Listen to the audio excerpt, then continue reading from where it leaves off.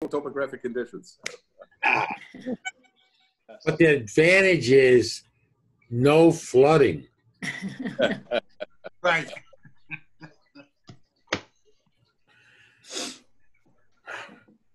Hmm. Where are you?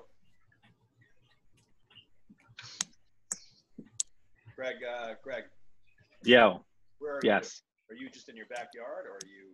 No, I'm nowhere near my backyard.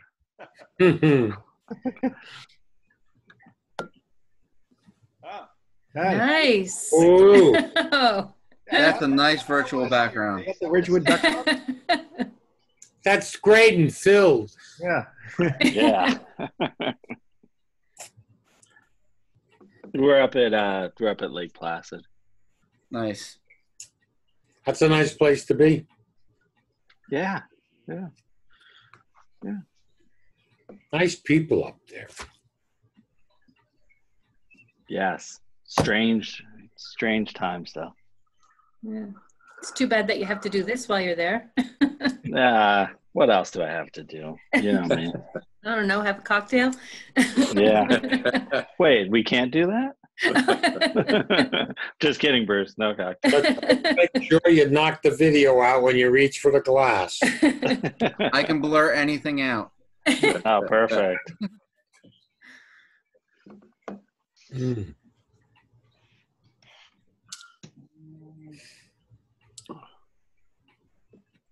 Still waiting on people, right? Yeah.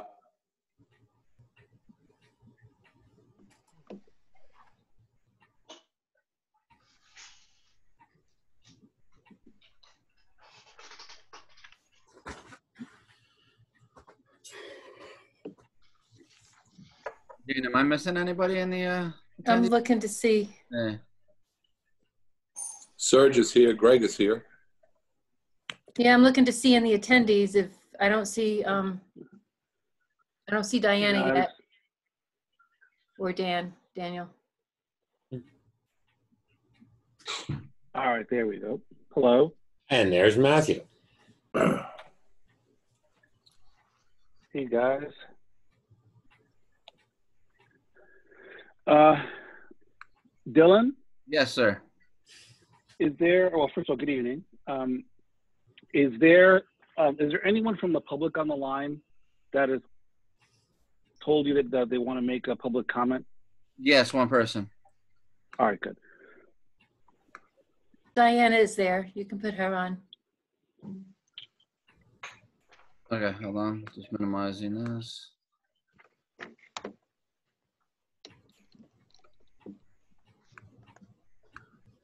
Here's Ann.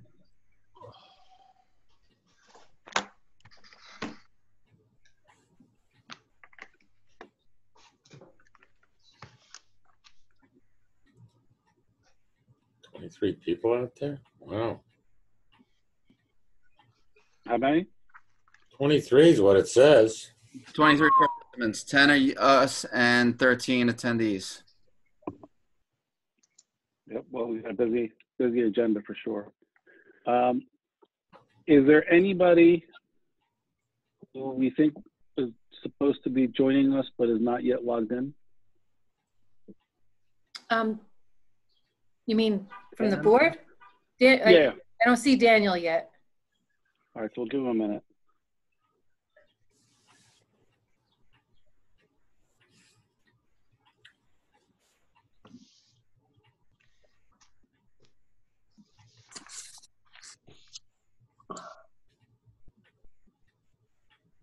Serge, Yeah. my thought perhaps is you'd want to, after old business, look at the Doe application next. I think that's probably a good, uh, a good to get some idea. people, keep, get some people off the line, you know what I'm saying? Yeah, I think that's a fair point. So we'll do that. Um, we'll, we'll announce that once we call the meeting to order. Uh, Dan just texted, he said just one more minute and he's gonna dial in. So if everyone, um, can just be patient for just another couple of minutes, we're gonna get our last, uh, board member on, and then we will call the meeting to order.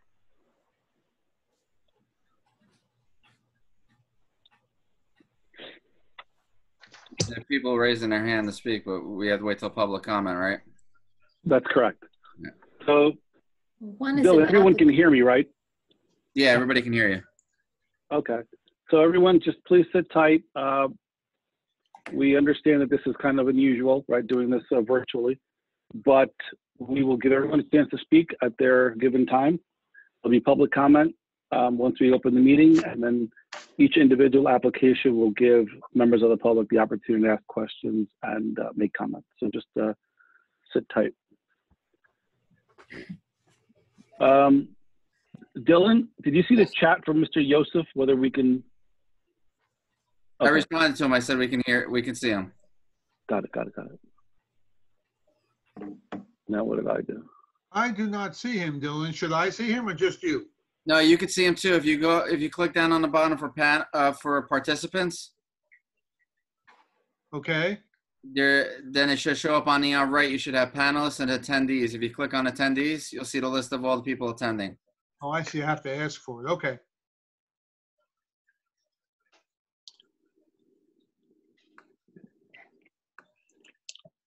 All right, you know what? Why don't we get started? Dan will dial in hopefully before the beginning of the Hills application, but we could at least uh, call the meeting to order. What I'm going to do is I'm just going to, because this is a virtual Zoom meeting, I'm going to read more of the agenda that I normally do. Um, For the duration of the coronavirus health emergency, Village Hall is closed to the public and meetings are held with participants at remote locations connected to conference software provided by Zoom.us. Members of the public are invited to view meetings live using the Zoom client, which also allows them to raise a hand and contribute with voice and video when they're invited to do so during public portions of the meeting. So please make sure that if you need to speak, you could raise your hand or send in the chat to Dylan. But um, please also bear in mind that it'll be during the times where I call for the public to ask questions or make comments. Um, all right, so we're going to call the meeting to order. Uh, we'll start by reciting the Pledge of Allegiance. I pledge allegiance Allegiance to the flag flag, of the United States of America, to the republic to the republic for which it stands, stands, one nation, One nation, God, indivisible, with liberty and justice for all. Uh, okay, so this uh, statement is required by the Open Public Meeting Act. Adequate notice of this meeting has been provided by posting on the bulletin board at Village Hall, by mail to the Ridgewood News, the Record, and by submission to all persons entitled to same as provided by law of a schedule including date and time of this meeting.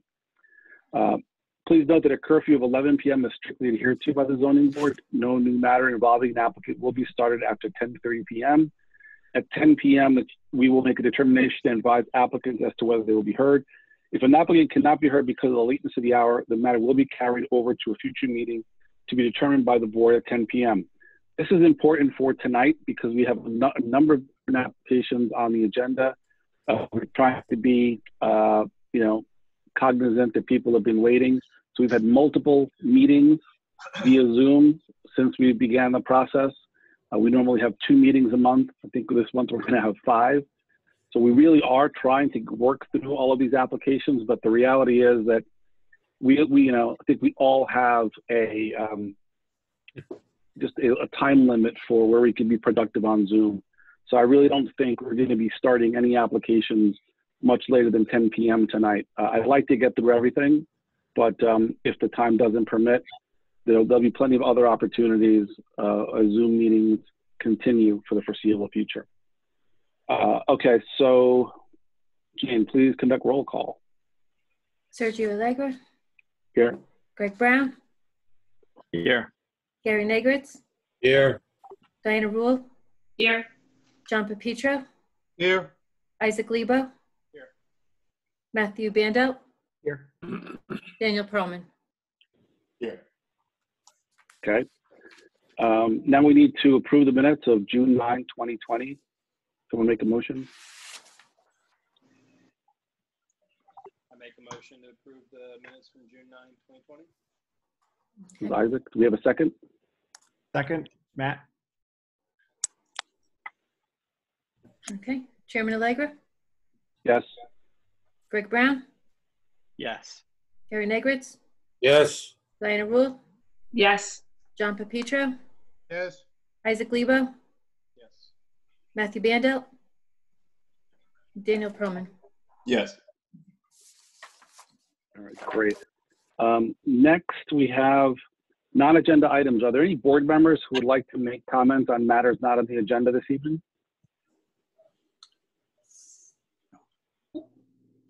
There being none, so I, now is the time for members of the public to make comments on matters not on the agenda this evening. I believe we have at least one. Um, If we could unmute that gentleman. Anthony Fasano, there we are. Great. Uh, Thank you, Chairman. Anthony Fasano, 671 Eastern Court in Ridgewood, New Jersey. Um, Good evening, board members. Thank you. I'm going to keep this real brief. Um, We're just seeking guidance on a matter. My, uh, my wife and I and our three, three young kids, we live in the uh, area behind the duck pond. Um, Obviously, the past three months, all of us in town and beyond have been kind of homeschooling and, you know, with summer looming and, and no camps really open, um, we decided to look into getting a permanent pool to keep kind of the kids busy over the summer. Um, my wife contacted the building department. We inquired about the permanent pool options uh, for an above ground pool, and we were told that we would need both a permit and a variance since technically we have two front yards since there's a street behind us. So they told us that, you know, with a timeline, we, we wouldn't be really be able to get that variance probably till October um, based on everything. So we decided against the permanent option, but we were able to find a portable plastic pool. Uh, we purchased it. My wife and I set it up, you know, in 30 minutes. We filled it up, and the kids have been using it um, together. And then last week we found out uh, from the town that we needed to take the pool down due to the variance and the permit issue. So you know, we have, obviously, we have no problem with going to get a permit from the building department um, now that we know that we need it for, again, this plastic, kind of portable plastic pool. Um, in fact, we did already speak with the building department and we explained the situation. We already emptied, emptied the water out of this, this pool. Um, however, you know, this really is a, a temporary pool. There's no plumbing, there's no heating, there's one electric plug that gets plugged into an outlet for a simple basket filter. Um, and we're here to see if there's either any way, we're seeking guidance basically. We're, we're trying to find out if there's any way, one, that we don't need a variance since it is temporary portable um, and we're planning to take it down in a few months because there is a reference in the code to portable pools being exempt, I believe. Or second thing that we're looking for is, is there any possible way of providing some kind of uh, an exemption, a 90 day waiver or something um, so that we can just work with the building department and get the permit um, and then if when we take it down in a few months, if we need to get a variance, if we're going to put it back up, we certainly can, but under the conditions. Um, I should also mention that in our backyard, there's a retaining wall for the road behind the house. So we're not on that back road. We're well below it. So it's not like the, it's anywhere near a road or anything of that of that nature. Um, you know, honestly, the application fees and expenses for the permit and the variance are probably going to cost more than this pool even, even costs. So, again, just to be clear, of course, we understand that if any, we were able to get a waiver, if we don't need a variance, we still would need to get the permit from the building department. And we've been in contact and we've been talking with Mr. Yatik there um, to make sure it's fenced in and safe. But we're just kind of seeking guidance from the board and council tonight on the matter and seeing if what options we might have. Thank you, Chairman. Thank you, Mr. Fasano. So really, uh, I'm going to turn this over to our board attorney, Bruce Whitaker. for Um, guidance. Mr. Fasano, did you get a letter or confirmation from the zoning officer that uh, variance relief was required? We didn't get a letter. Um, the, uh, the town was in the area cutting trees down and someone from the town mentioned it to us and then ended up talking with uh, the building department uh, by phone and they told us that we need to take it down and then i did speak to the building department uh, mr yaka the other day and i told him all the water would be out of it immediately and we drained it and uh, he said he would come and take a look and, and make sure that was done and, he hasn't come yet um, that was last week and uh, and i did tell him that i was going to try to see if there was any way that we wouldn't have to take it down but we immediately took the water out so it's been all phone. It's been all phone correspondence, sir. Okay, so the, the way this has to be handled is by a state law. It's not a law with the Village of Ridgewood. Um, The state municipal land use law, uh, when you have someone, I guess from the building department here, who was serving as zoning officer, but if the zoning officer says that you require a variance, the board doesn't have the ability to waive what the zoning officer says or, or writes in a letter to you. What you have the right to do under the municipal land use law is to challenge the zoning officer's decision.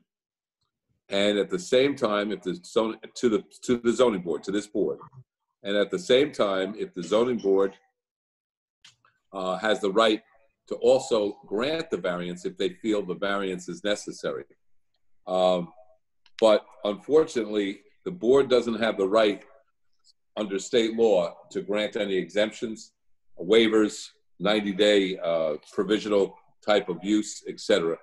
And I know, and it's unfortunate, I know, we all know that these are exceptional times, but there were a series of executive orders that were issued, including some executive orders pertaining to land use. But the executive orders did not give any board or any official the ability to waive um, any of the zoning requirements in a municipality. So your steps would have to be to go back to the zoning officer to determine that a variance is required, and then you'd have to make the application to do that. And I, unfortunately, I believe with the agenda that we have, um, that may actually occur after the swimming season.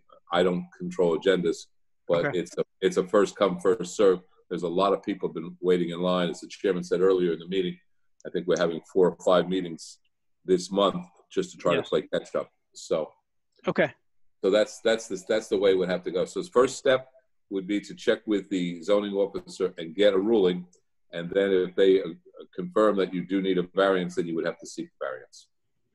So Okay. first, I just have a question. Does this, I mean, uh, when I drive by many homes with young children, many of them have pools. Um, This rule applies, all these pools should be permitted. That, is that correct? Uh, you know, it's not for us as a board to determine. It's up to the zoning officer to uh, interpret, by state law, interpret what the ordinance says. But does our town make the rules as to whether or not a pool needs, like a, his pool in particular, but these pools that people are putting in that have little motors just to keep the water circulating so they don't have to dump them every time. Our town has made the ruling that they want to have these permitted um, through, through the zoning or, or the building department, correct? Is that, or do you not know that? Maybe Jane would know that. I, I have no knowledge about, this is the first that this has come to my attention. I, I just have one question, Mr. Whitaker, for the, when you said to go to the zoning officer to get the official ruling, um, in the code, the village code, it does refer to these port, like a portable pool not having to necessarily require the variance. So it would be up to that individual then to determine what a portable pool means, correct? This, you are correct. The state law gives jurisdiction to the zoning officer to initially interpret a zoning ordinance. That Okay, is and, correct. and the zoning officer in this case would be the building department, I guess, because I spoke to them, is that right, or is that? It would either be that or Jane, have you seen Paola involved with this? Um, I haven't really heard about this, so, but that would be Paula. Yeah, so I- Where is the pool located? Just I misunderstood, I think. It's just in the backyard, our backyard. The problem that we're having is because there's a street in front of us and behind us, technically we have two front yards. So because we have the pool in our backyard, but it's not, you know, they're saying tech legally it's not a backyard because you're on another street. So because of that, we need the variance. Otherwise, we would have just. So, to fill out Could you, are you the corner of Eastern and Pershing? Yeah, So can you, there's setbacks for zoning as to where the front yard right. ends. So can you just move it so you don't, so it's truly in your backyard and not in your front yard? The And then you problem is, well, the problem is it is in our backyard, but the backyard legally is a, is considered a front yard. quote You have unquote. two front yards. Right. So But- when you Right, but the every, goes- every, every house has a backyard, even if it, believe it or not, even if it's not in the back. It could Right. be that your side yard is considered the backyard. the problem So is, did is our the side zoning yard. officer, did the zoning officer point out what your legal backyard is? Yes, she she did, but there's just not enough room on the side for it. So, and and and to your point, um, if we took the 40 foot setback from the back road like, because you have to use the front yard setback, you did, the- there just wouldn't be enough room. That's the problem we're having. So again, it just happens because we have the, the road behind us and we have two front yards. Otherwise, we would just go to the building department, get this paperwork filled out and be done with it. But unfortunately, I guess I'm, that's I'm just, uh, maybe I'm a little confused. You have Eastern Park, you have Eastern Court. Yeah. I'm looking at a map, Okay, Pershing Avenue. Yep. And you said there's another road? there's a road behind it, which I believe is Wall Street. That's another dead end, like a cul-de-sac. We're in between the two cul-de-sacs, Eastern and Okay. um, Eastern and Wall. Do you have, do you have three front yards?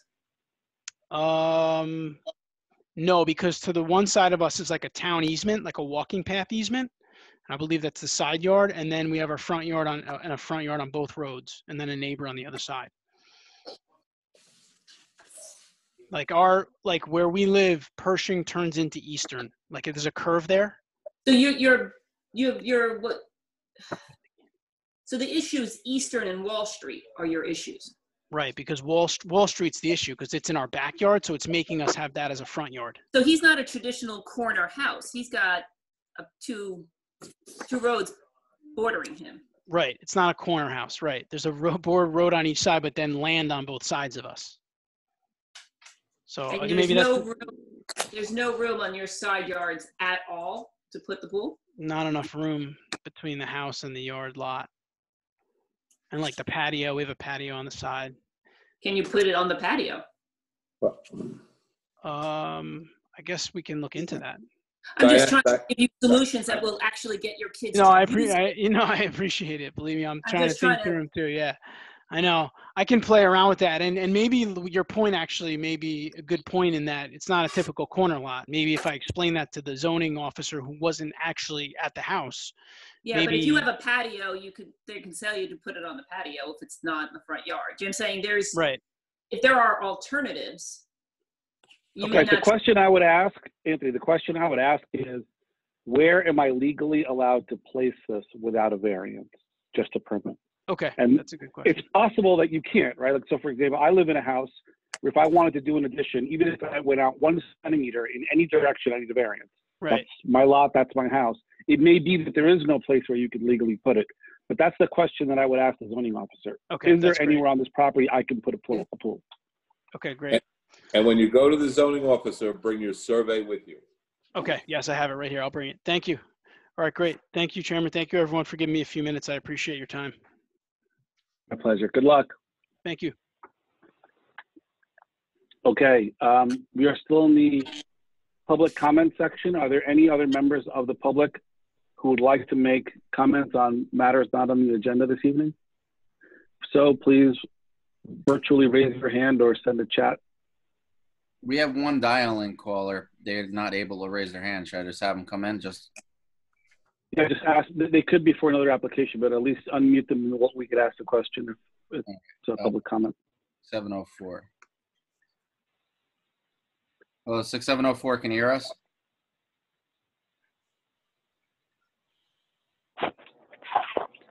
Hello? Hi, do you have a public comment? No, no, this, I, I, I'm on number four today, Chris Aleppo, so this is not, uh, I'm having some technical issues on my computer, so I called in also.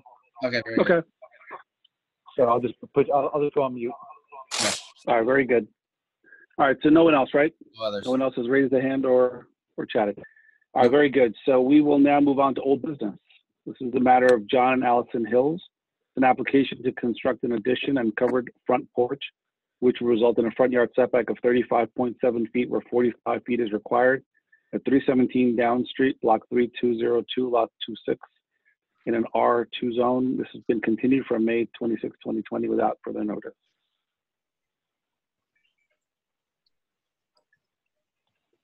I have the Hills in. Who else needs to come in for them? Um, This is John Hills. It would be Dave Mayland and Ron Eng.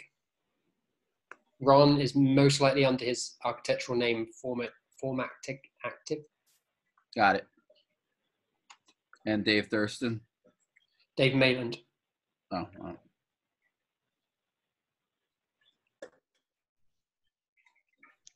Good Okay, afternoon.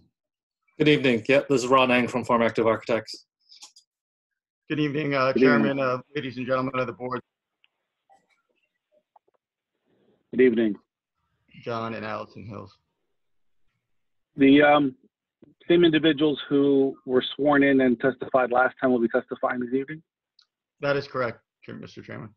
Yes. Okay, Please proceed, please proceed. You're still Uh, under oath. Go ahead. Thank you again. This is uh, David Malin, the attorney for the applicants, John and Allison Hills. We were before you back on May 26, where the board had made a number of comments, uh, which my uh, applicants have taken into consideration. They've met uh, multiple times with the architects and have submitted to you revised drawings and plans, uh, which have been circulated in connection with this meeting. Um, The architect will comment on those in greater detail, but in some, they have softened the front elevation, uh, reduced the, the size of the porch and actually the encroachment of it into the front yard setback, as well as uh, reduced the height and the pitch of the roof. Um, With that being said, I believe that the applicant, uh, Mr. John Hills, would like to say a few comments to the board before we go on to the architectural testimony. Thanks, Dave. Good evening, Mr. Chairman and board members. Thank you again for having us and giving us the opportunity to um, bring our revised plans to you to you all tonight. Um, so really, as, as Dave mentioned and uh, Ron, our architect, will get into the detail. Um, I just wanted to say that thank you for the last meeting after listening to the feedback. Um, we made new revisions and we realized we've actually made, in our minds, a better design. Um, something that we feel is in harmony with the streetscape of the neighborhood. Um, and and as uh, as Dave mentioned, we did submit one exhibit um, as per Mr. Perlman's um, uh, advice last time regarding setbacks adjacent to our uh, properties along the north side of Down Street. We have also reduced the front yard setback um, as uh, a point of consideration raised by uh, Mr. Negret, so I apologize for your uh, my pronunciation if I've got that wrong. Um, and then with respect to, to Ms. Rawls' comments um, regarding the height, we reduced the height of the roof um, to more scale the neighborhood. We minimized the second floor volume, making it more modest to blend in with the neighborhood. So in all, we do believe we've made a right balance between height and aesthetics in our new plans. Um, and I do also want to note that um, as per Mr. Bandelt's comment on the last meeting, um, we did agree that we would not enclose the front porch at any point in the future. So um, Ron, our architect, will go into the details, but thank you again for giving us the chance um, to present tonight. And Okay. with that being said, unless the board has uh, direct questions of the applicant um, himself, I would uh, like to call uh, Mr. Ron Eng, the architect uh, responsible for the drawings. Yeah, before you do, just let's get board members uh, the opportunity. Does any board member have direct questions from Mr. Hills before the architect uh, testifies? Doesn't look like it. Please proceed.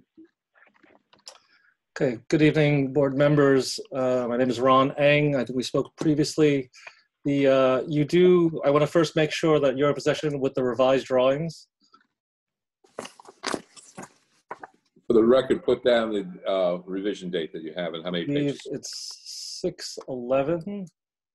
Uh, Dave, you can correct me if I'm wrong, and it pages one through six. That is correct. And uh, for the record, we'll mark those as, uh, I believe we're on A3 uh, jointly. That's correct. Okay. Uh, Furthermore, you have the exhibit from uh, Lantelme Kurens and Associates, the surveyor, who we contracted to examine the front yard conditions of neighboring properties on Down Street. That we're going to mark as A4. And for the record, that's uh, dated June 11th, revised as of June 16th, uh, and signed by Christopher uh, Lant Lamine uh, in connection with the setbacks of the surrounding property owners. Right, that revision was requested because though they had marked dimensions for the front yards, they did not, uh, we also asked them to go back and look at each individual building and express whether or not the porches were covered or open. So the other thing I want to point out of the survey is that it's, it's, the dimensions are drawn to the front of a significant building, which is generally a stoop or a porch. So not the stairs and not necessarily building wall. So this does uh, change to some extent our discussion from previous where we were talking about a front yard requirement 45 feet and how we were s- e- expressing that our front building was 39.5. but these dimensions are talking about front of porch, and therefore the survey and comparable properties uh, are, you'll look at the offset, what he regards as offset in column four.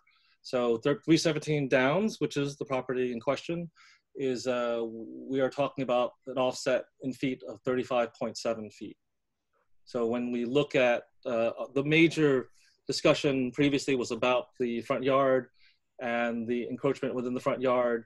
And uh, you'll see that we've made many accommodations uh, to bulk, but the initial conversation when the variance was about the covered porch. So the covered porch right now will project into the front yard to the same dimension as the current stoop. So that's a point I want to, if I if I can reinforce with some of the other properties that they're of very similar nature, and uh, there is in order to accomplish that, there was a reduction in the depth of our porch. There was a reduction in the size and width of our covered of the canopy on the porch. So those comments from previous the previous meeting were taken into account. So there were some reductions, but uh, part of the important discussion here is that the existing projection remains.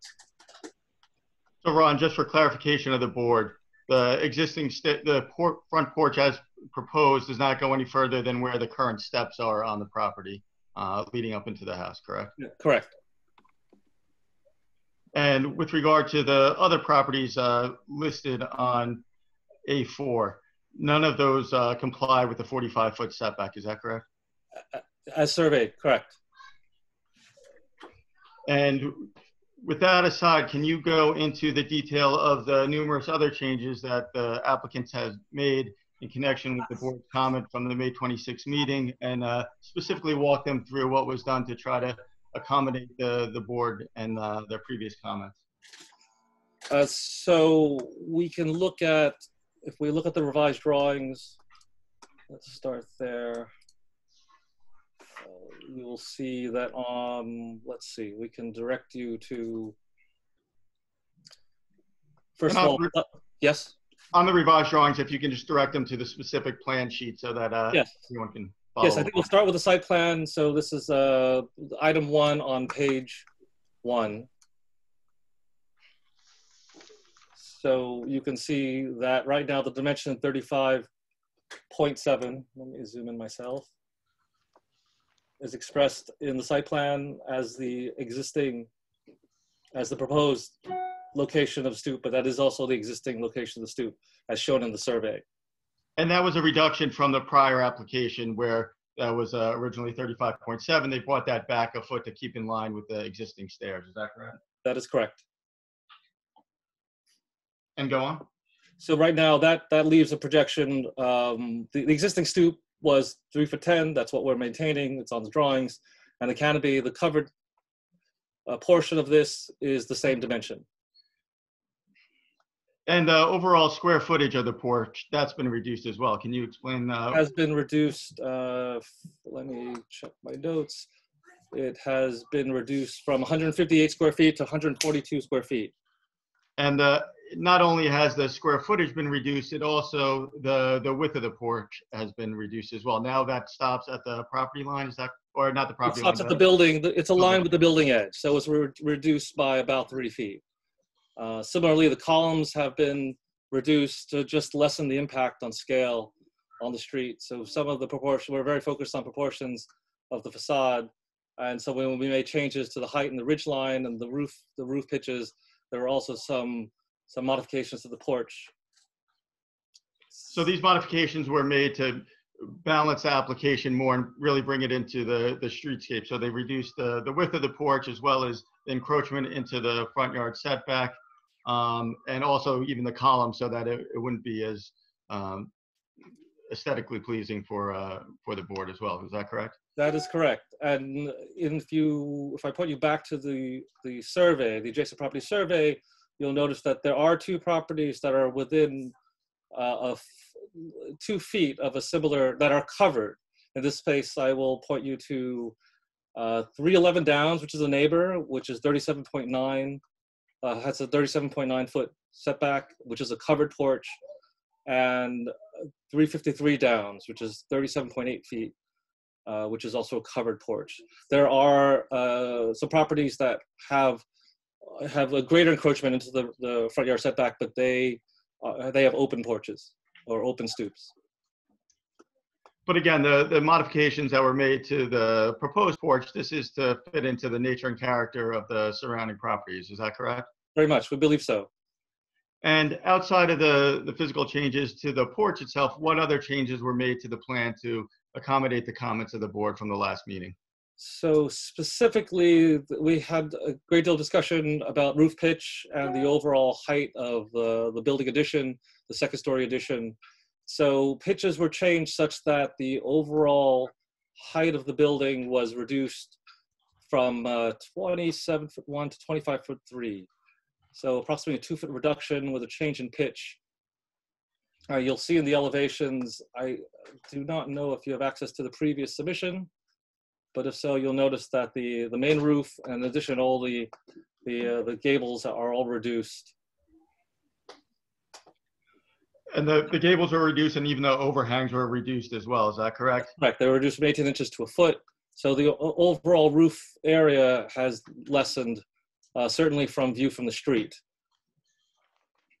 And this was to balance the application as a whole and to take into the comments of, I believe, Ms. Rule at the previous meeting where she had concerns with regard to the, the pitch of the roof and, and potentially the, the height of the project as well. Is that correct?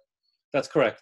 And, and some accommodations had to be made. There, there was some storage attics, there was some mechanical space that was all lost when we reduced the, uh, the interior space, partially because we have code minimums.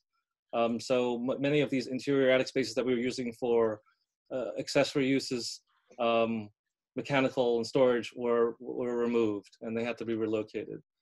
So they compromised on the, the attic space as well. I believe the second floor went from 8.8 inches, now it's only eight feet uh, flat. So they, there have been compromises by the applicant uh, throughout the home to try to accommodate the, the consideration on what the project would look like from the, from the street as well. Is that correct?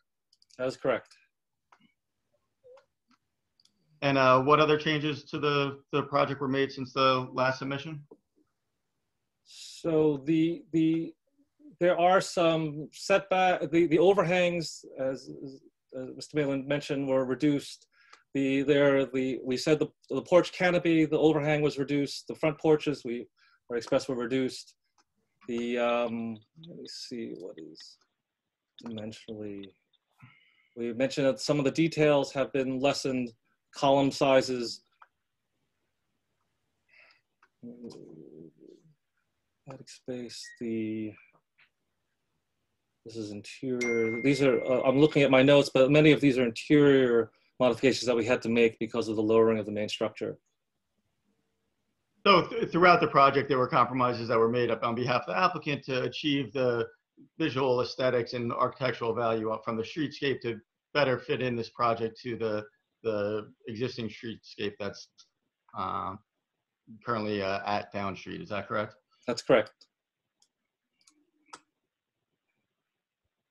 Now, with that being said, are there any other modifications that were made that you would like to specifically comment to the board, or can you address any uh, questions that they may have at this time? I think uh, we, right now, questions would be the next step. Okay, very good. So we're going to go as we've been doing, just one by one. So first, we'll start with Jonathan Pepitro. Any questions, sir? I just want to ask about the attic. Is there any access to it, a pull-down door, or is it just totally closed off? Right now, these are, the rooms that are left are, w- are what we call cathedral ceilings. So they're open ceilings to a pitched roof. There were attic spaces that we had set back in the, in the middle of the building for mechanical, so those have been removed. Okay, so there's no access to that attic now at all. It's all just closed off. It, it, well, it's not closed, it's open, but there is no attic. I see. Okay, understood. Thank you. Why is there no attic? There, there may be a few, a crawl space here and there to get to eaves, but it'll be on the order of access panels, nothing like a, a stair, like an attic stair. I'm just trying to find out what the headroom is.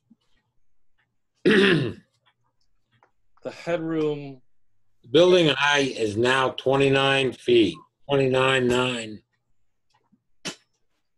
And the, No, no more 29, the 29.9 has been reduced. Well, why am I looking at a revised drawing that doesn't say that? And last time it was 30-some feet, which is why you needed a variance for the roof height unless you went with a 9/12 pitch everywhere. The top of the, the highest ridge at this point is 27 foot four. Yeah, so the variance from the last time was specifically just for the front yard setback. It wasn't for the roof, but we were making some adjustments because um, Diana had some suggestions about the roof height and the roof pitch, which when we went back and looked at it, we made the adjustments to scale it down a bit to bring down the volume overall. So the roof, var- the height of the building, The original roof was in excess of 30 feet. it, it,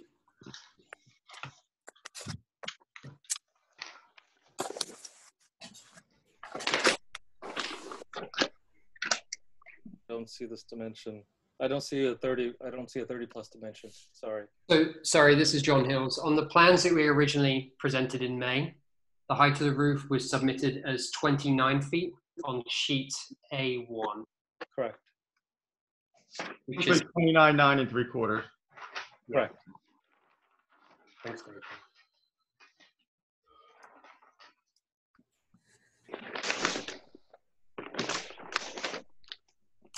Shown on the elevations on drawing five as well on the previous submission.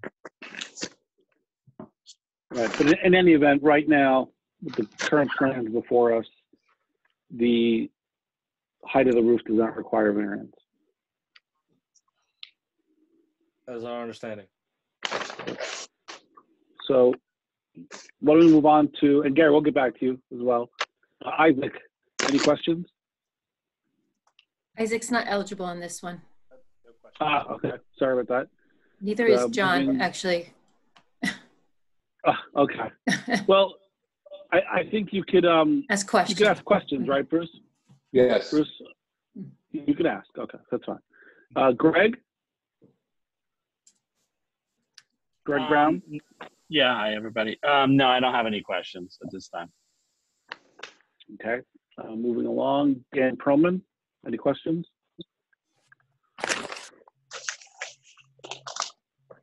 You're on mute. Dan, you're, you're muted.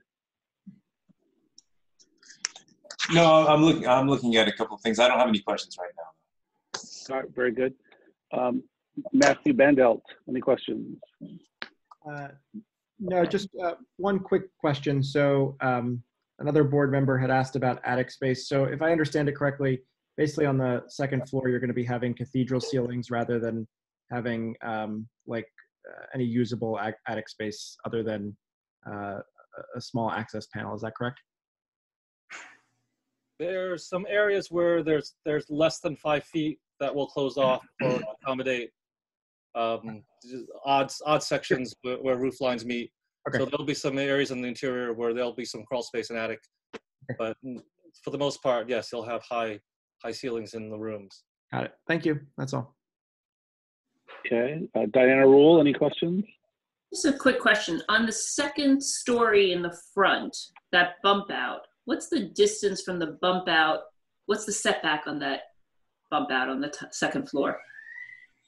On the second floor, okay. Uh, let me.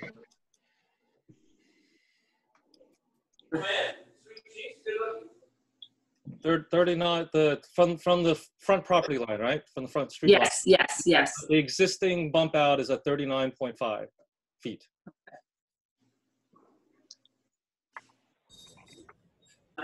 So you need not only for the porch, but for the existing structure as well.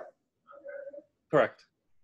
You need a variance. Okay. Right, for the second floor. But that the, that's the exist, the existing bump out on the ground floor is at 39.5. Yeah. So, Yeah. but to go up, you need a variance for that that area as well, kind of That is correct for the second floor. for the second floor. Yes.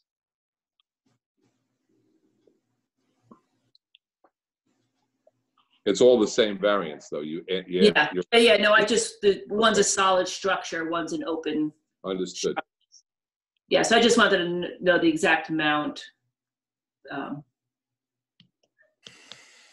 Anything Alright. else, Diana? my own question. All right, Gary Negritz, back to you. Any any additional questions? I'm just trying to follow up on that uh, attic space, so uh, give me another minute or two, if can go to somebody else. Sure. Is there anyone else who's got any questions? based I'm not off sure you of- understand. Hmm. I don't know what that was. All right, That's, Gary, it's okay. Take your time.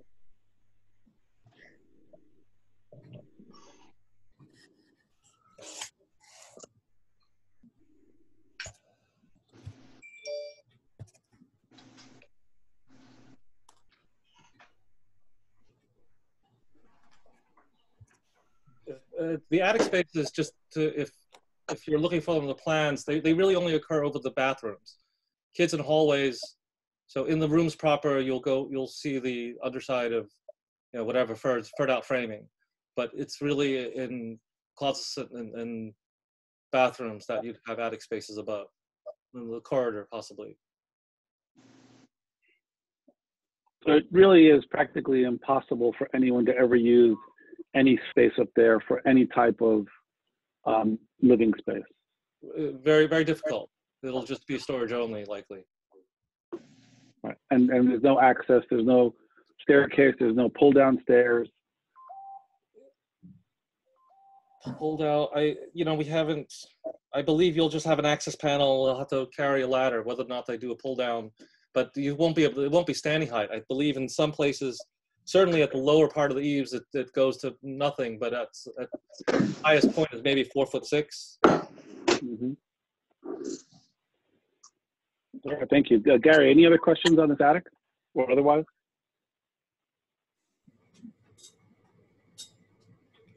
I just don't understand how I can get four foot six when I've got a, uh, from the, if, if you, I took the flat ceiling at eight feet on the second floor, I've got eight foot eight above it.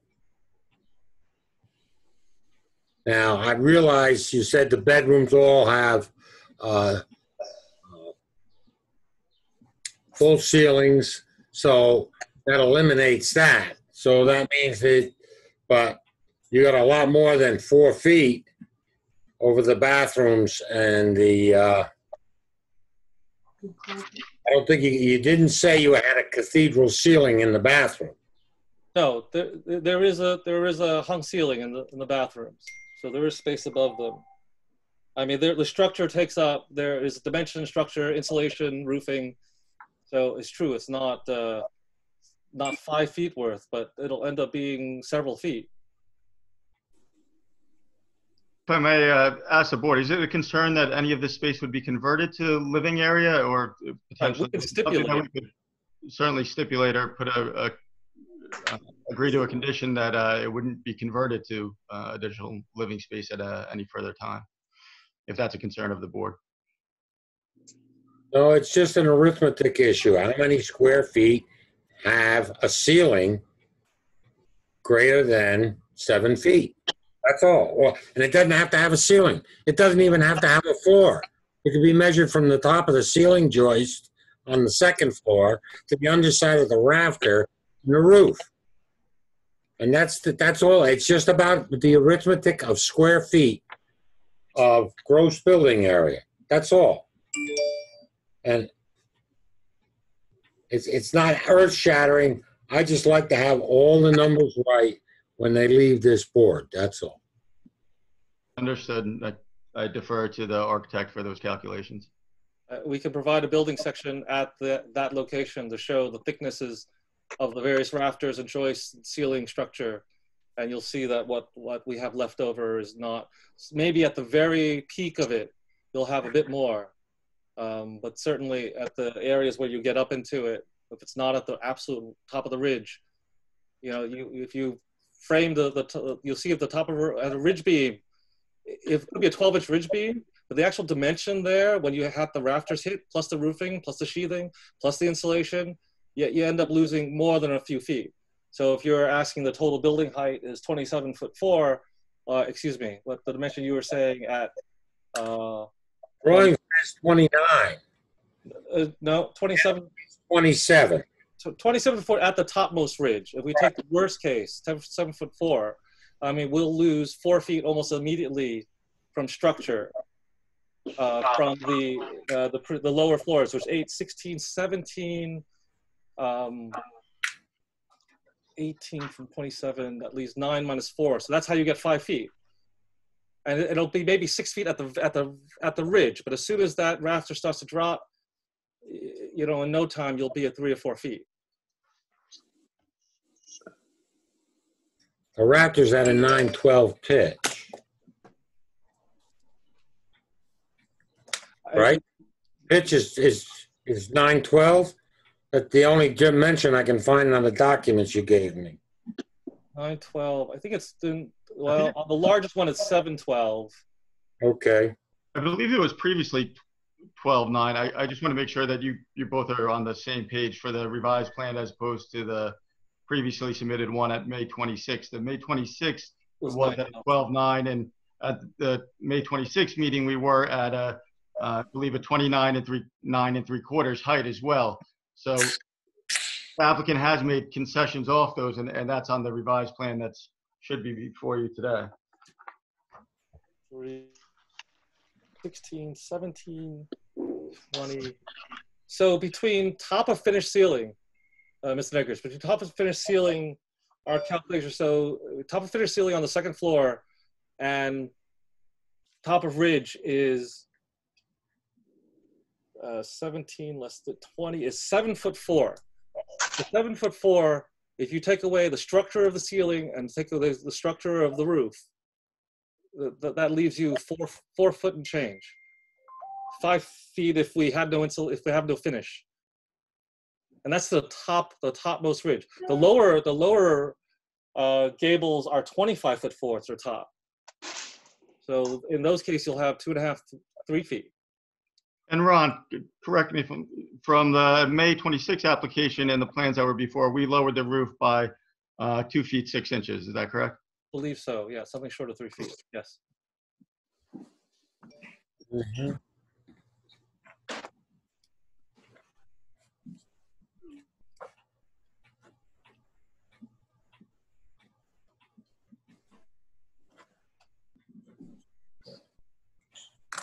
Anything else, Gary?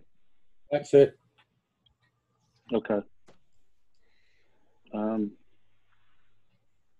Are there any other questions on board members before we open it up to the public? We have two from the There public. Yeah, so now is the time for anyone from the public to ask questions of the applicant, applicant's attorney, or architect. Yeah, we have three. Hold on one second. I'm gonna invite the first one in. David Thurston. Mr. Thurston, I'm- This is David Thurston. I'm not here to ask questions, but to speak on behalf of the applicant. all right, so just pause one second. I just want to make sure if there's anyone out there who has a question, we give them the opportunity to ask questions, and then we'll open it up for comments. I have one other person raising their hand. Steve Ranchless. Mr. Ratcliffe? Uh, we just want to comment that we have no objection to the application. Okay, so hang on one second. We're gonna have comments um, any moment now. Dylan, is there anyone else, Dylan? No, those are the only two that were raising their hand. All right, so we're gonna go to Mr. Thurston first. This is uh, for comments. Mr. Thurston, if you would raise your, raise your right hand. Do you swear or affirm that the testimony you're about to give will be the truth and nothing but the truth? I do. Thank you. Please give your full name and your address. My name is David Thurston, and I live at 332 Libby Avenue. But of particular consequence to the application, I live on the corner of Downs and Libby. I've lived here since 1999, and I spend a great deal of my time in the backyard, which looks directly across Down Street from the Hill home. And um, from reviewing the plans and the updates, we're in complete agreement with them that it will upgrade the street, and we find it uh, very desirable from an aesthetic standpoint. Um, and just as another comment with respect to the height of the home, I'm sure the board knows that on the south side of Down Street, except for the house directly to the west of me, which is across the street from the hills, all the homes are far and above 27 feet. And even on the north side of Downs itself, there are a series of five or six capes similar to the hills. But then at the east end of the street, you have several homes which are also well above 27 feet.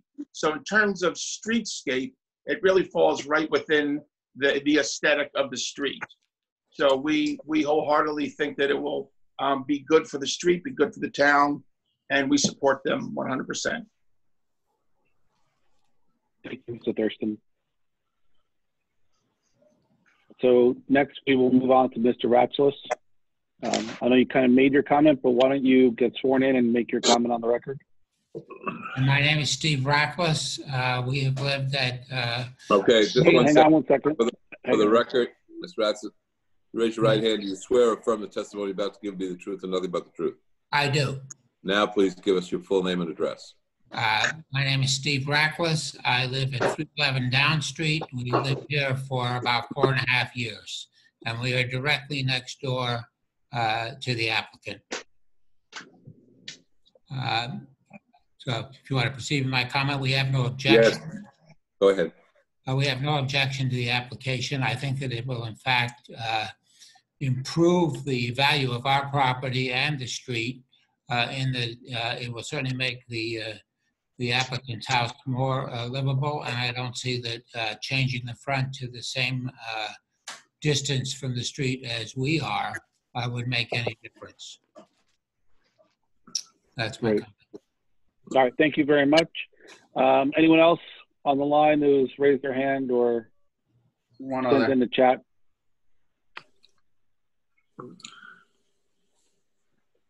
Yes, Carolyn Hancock? Yes, hi. You want to make a comment uh, regards to this application? Yes, please. Raise your Uh, right Mr. hand, Whitaker? please. Yep, You swear or affirm the testimony you're about to give be the truth and nothing but the truth? yes, I do.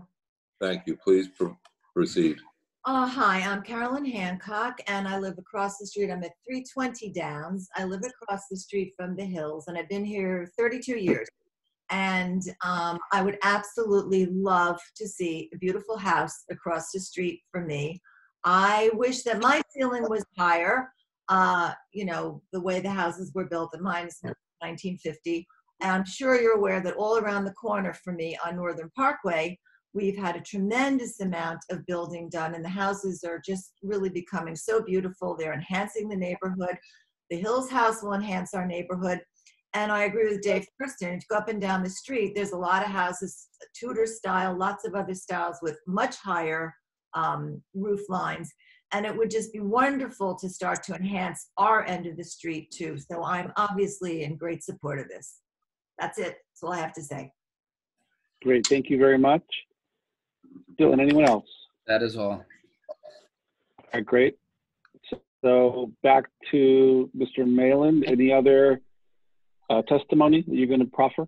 Uh, I don't believe we have any oth- further witnesses tonight. I will just say in closing, I believe uh, you've heard from the applicant, the, and the architect, as well as the exhibits presented, including A4, which was the survey study of the surrounding uh, property owners all on Down Street, which uh, none of them complied with the 45-foot setback, I believe, based upon the testimony tonight and the previous uh, meeting on the May 26th.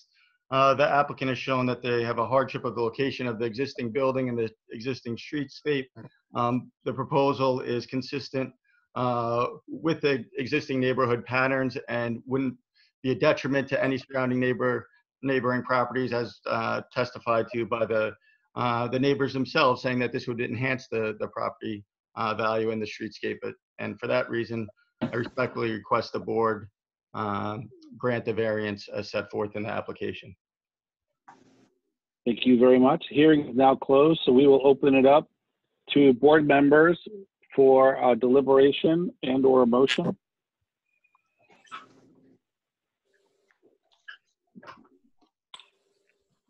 Uh, I I would just say from a, from a setback perspective, uh, the reduction in the front porch to the setback of the current stoop and the reduction in width um, along with the um, calculation of the predominant setback on the street.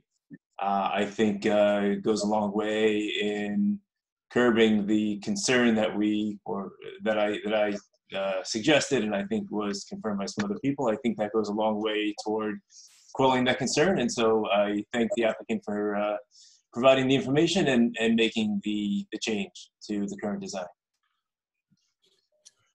Thank you. Anyone else?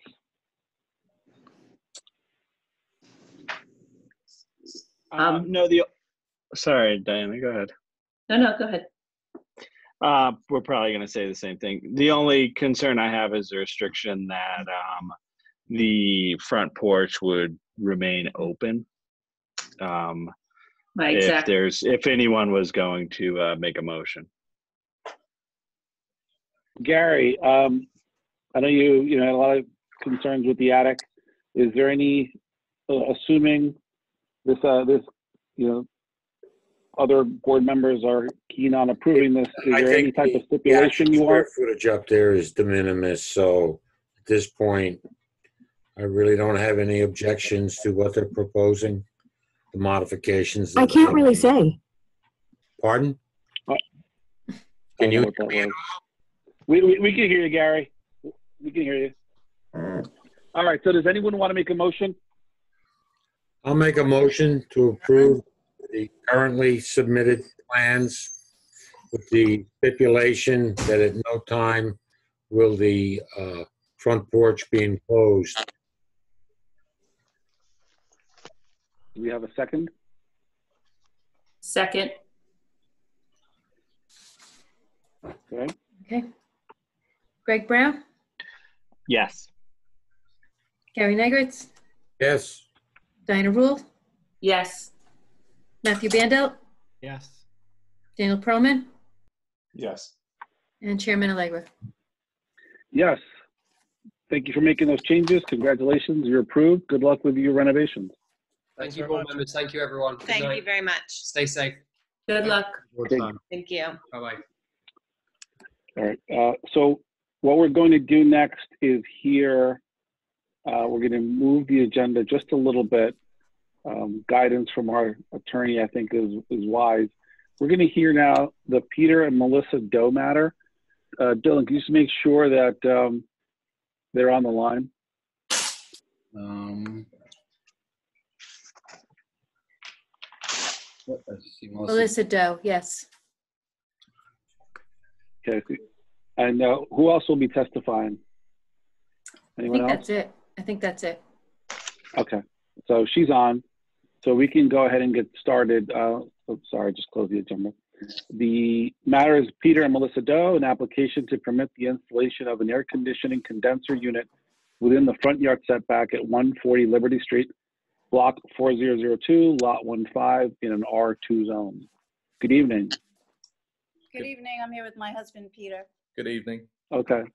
If you'll both be testifying, Mr. Ruckel will swear you in. Yeah, both raise your right hand, please. Do you swear or affirm the testimony you're about to give will be the truth and nothing but the truth? I do. Peter? Yes, I do. Thank you. Please proceed. Um, well, first of all, thank you, uh, uh, Mr. Chairman, members of the board, for uh, uh, getting us onto the agenda and actually for advancing us a bit. Thank you very much. Um, we, we live on a, a corner property, and so we have two front yards, similar to an earlier debate in this meeting. Um, and uh, we, our, our house is a Victorian house uh, from I think 1904. Uh, it's um, but the, the best form of air conditioning units are ones which have external condensers.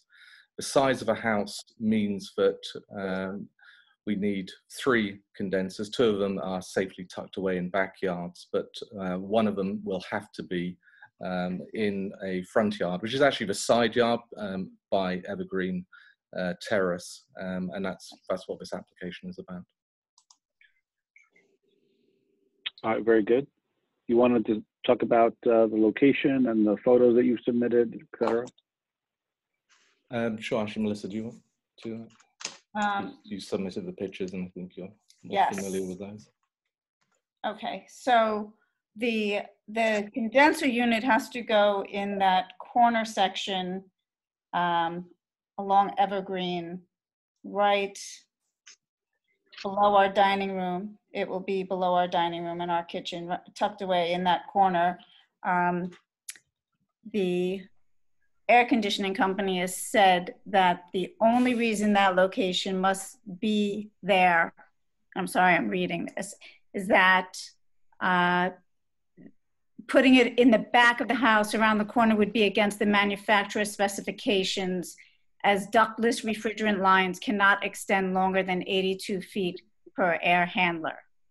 So there's no other location in our house that would work for this condensing unit that would meet your set, Ridgewood setbacks without violating the manufacturer's specifications. Yeah, so the intention is that the uh, condenser unit would be in that little corner, uh, about 32 feet setback from uh, the road, uh, or from the, the, the end of our property, in fact. Um, the dimensions of a condenser unit are 42 inches high, so three foot uh, six inches, 37 inches wide, 13 deep. It would be placed on the ground, so it would be no higher than 42 inches. And the intention is that we put shrubs up in front of it so that it would not be visible from the road.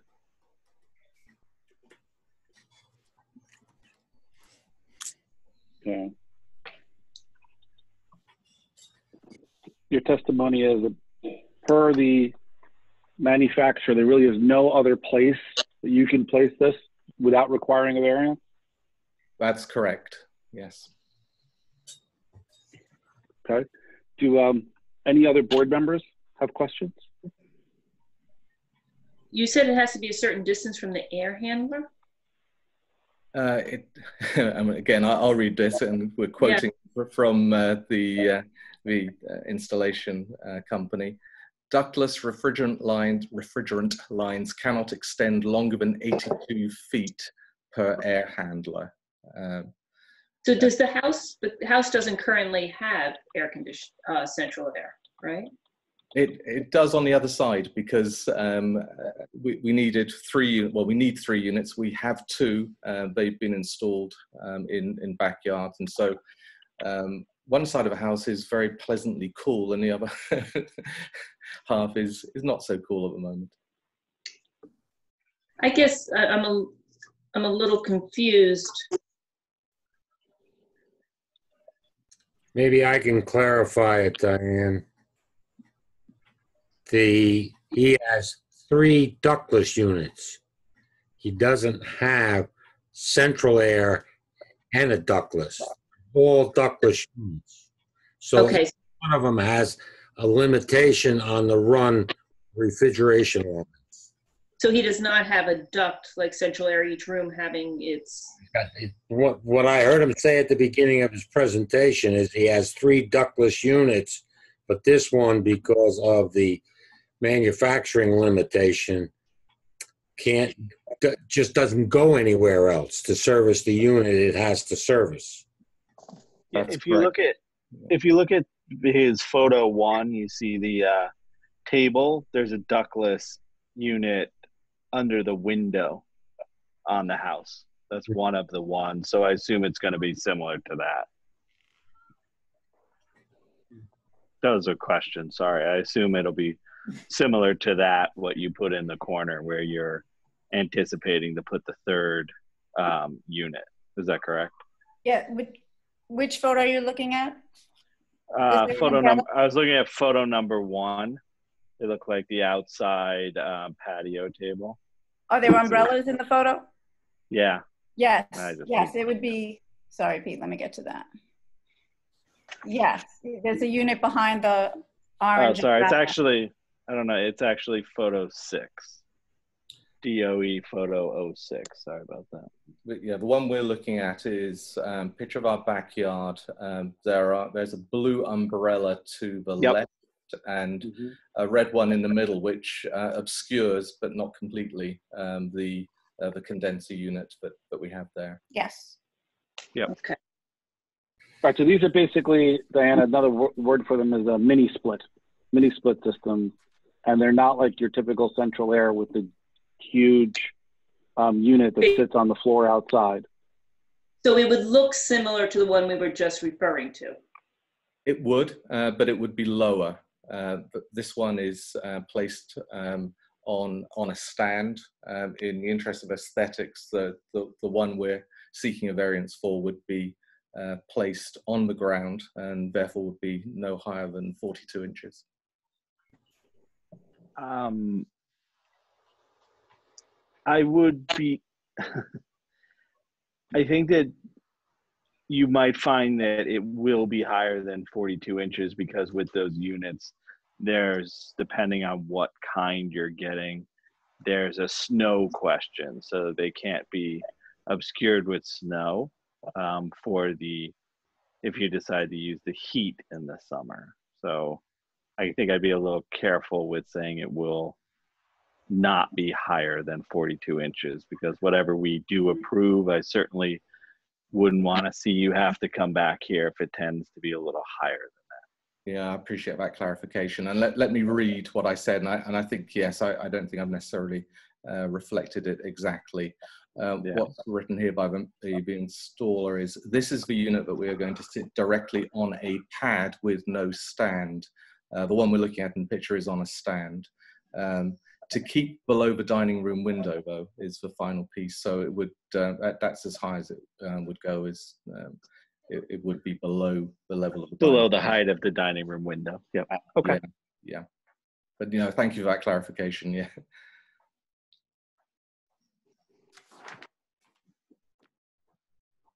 All right, so you, um, you'd be okay with a stipulation that if this were approved, you would stay at that height and that it would be screened in somewhat with some shrubbery? Yes, al- al- although the, the 42 inches, yes, I mean, it, it may go a little bit above that to um, the, the member's point, the board We could, point. we could say approximately 42 inches in height, but no higher than the lower part of the dining room window. Correct. Yes. And the board in the past has stipulated boxwoods, um, usually at uh, two and a half to three foot height at planting. That's what you've done in other resolutions for the screening. If that's what you wanted to do, we can specify that too. Can we, can we say screening that will cover the whole, if it's 42 inches, it goes up to 42 inches? At planting?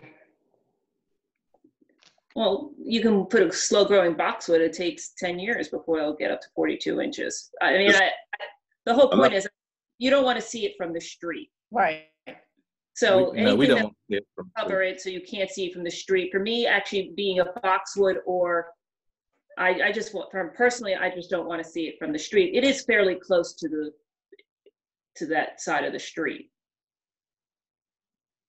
And it's high up because there is that wall, so it is at mm-hmm. eye level. Mm-hmm. So I would no- like whatever the height is of the unit, I'd like whatever greenery, so you can't see it from, Boxwood plantings be at a height to be above that of the air conditioning unit. yeah. We're, we're absolutely aligned with that. We don't really want to see it either. Yeah, no, I, I'm sure you don't. So that's all, as long, because it's up at a, at a higher level from the sidewalk because of that con, the, the wall on that Yeah. side. Yes, that's true. Yeah. So whatever is going to block it completely. Yes, agreed. Yep, absolutely.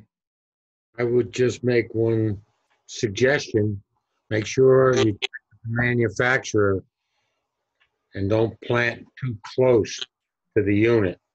Mhm. You gotta get air in and out of it to be, you know, functional. That, just follow the manu- manufacturer's distance recommendation. Yeah, Yes, thank absolutely. you. Before we open it up to the public, are there any other questions by board members? There being none. Uh, Dylan, we could open it up now for any members of the public who have questions. If you're listening in and you have a question here, raise your hand virtually or send in a chat. We'll unmute you.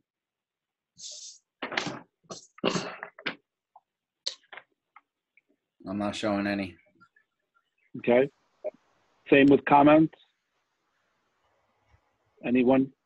Go a second here. Doubtful, but Never know. All right. So we will now, cl- unless, um, you know, the applicant has anything else that they want to say, you're welcome to make a closing statement. Um, no, just thanks again for uh, uh, for hearing our case. Yes. All right, very Thank good. you. The hearing is now, all right, thank you. Uh, The hearing is closed. So we will open it up for board member deliberations and or a motion.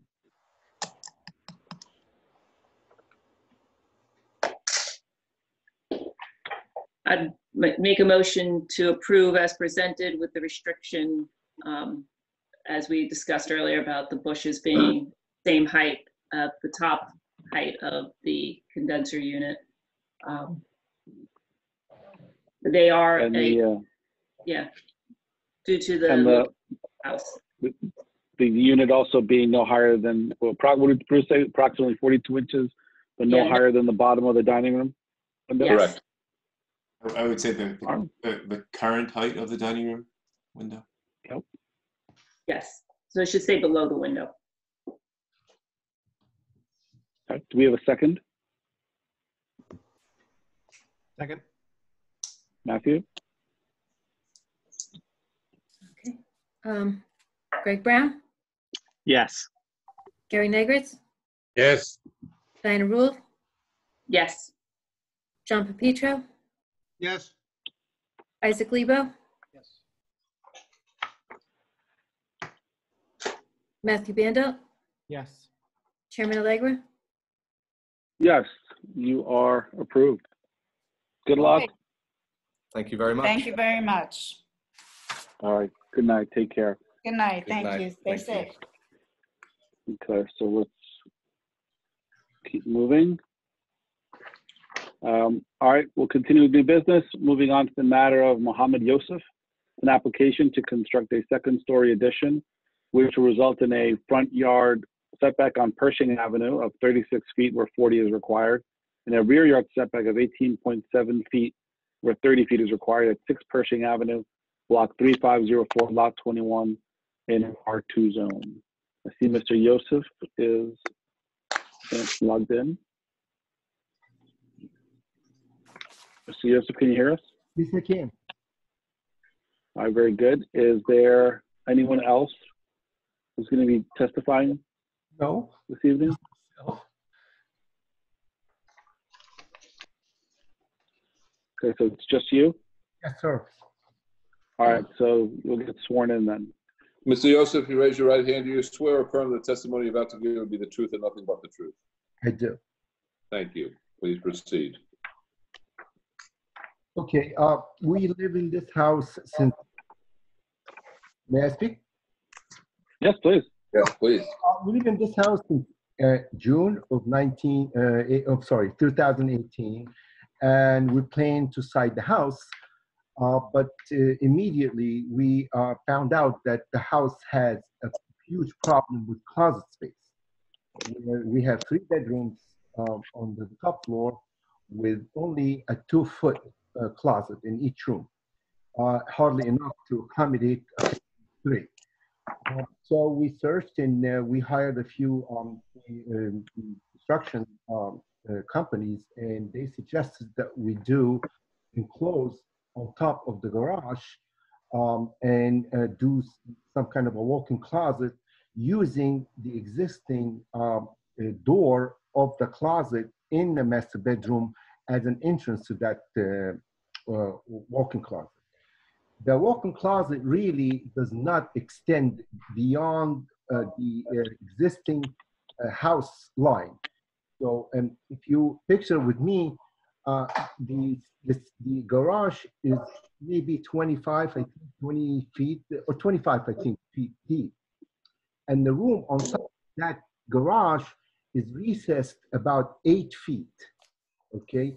Uh, so what we plan and we hope to do literally just build two walls, one in uh, in the front and one on the side of the house to enclose that pocket of eight by twelve to do a walk-in closet.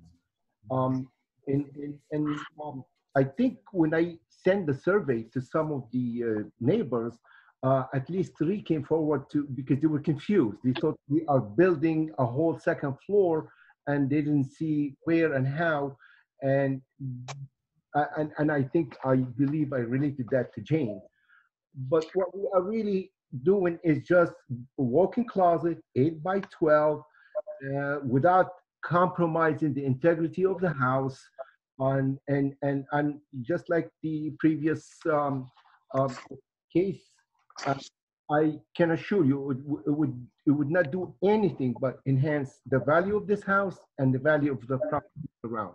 We are not taking anything from the uh, lines of the house itself. We are not coming out or in, just enclosing that pocket. If you look at, I don't know if the my pictures are numbered as I sent them. So if you look at a picture I sent, uh, and I think it's it's named IMG 6881. Is that the number you have too, or they were numbered differently?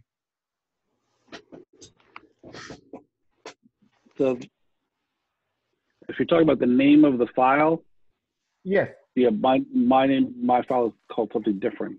But I am looking at, Bruce, you have, uh, you have the pictures that were sent in? Yes.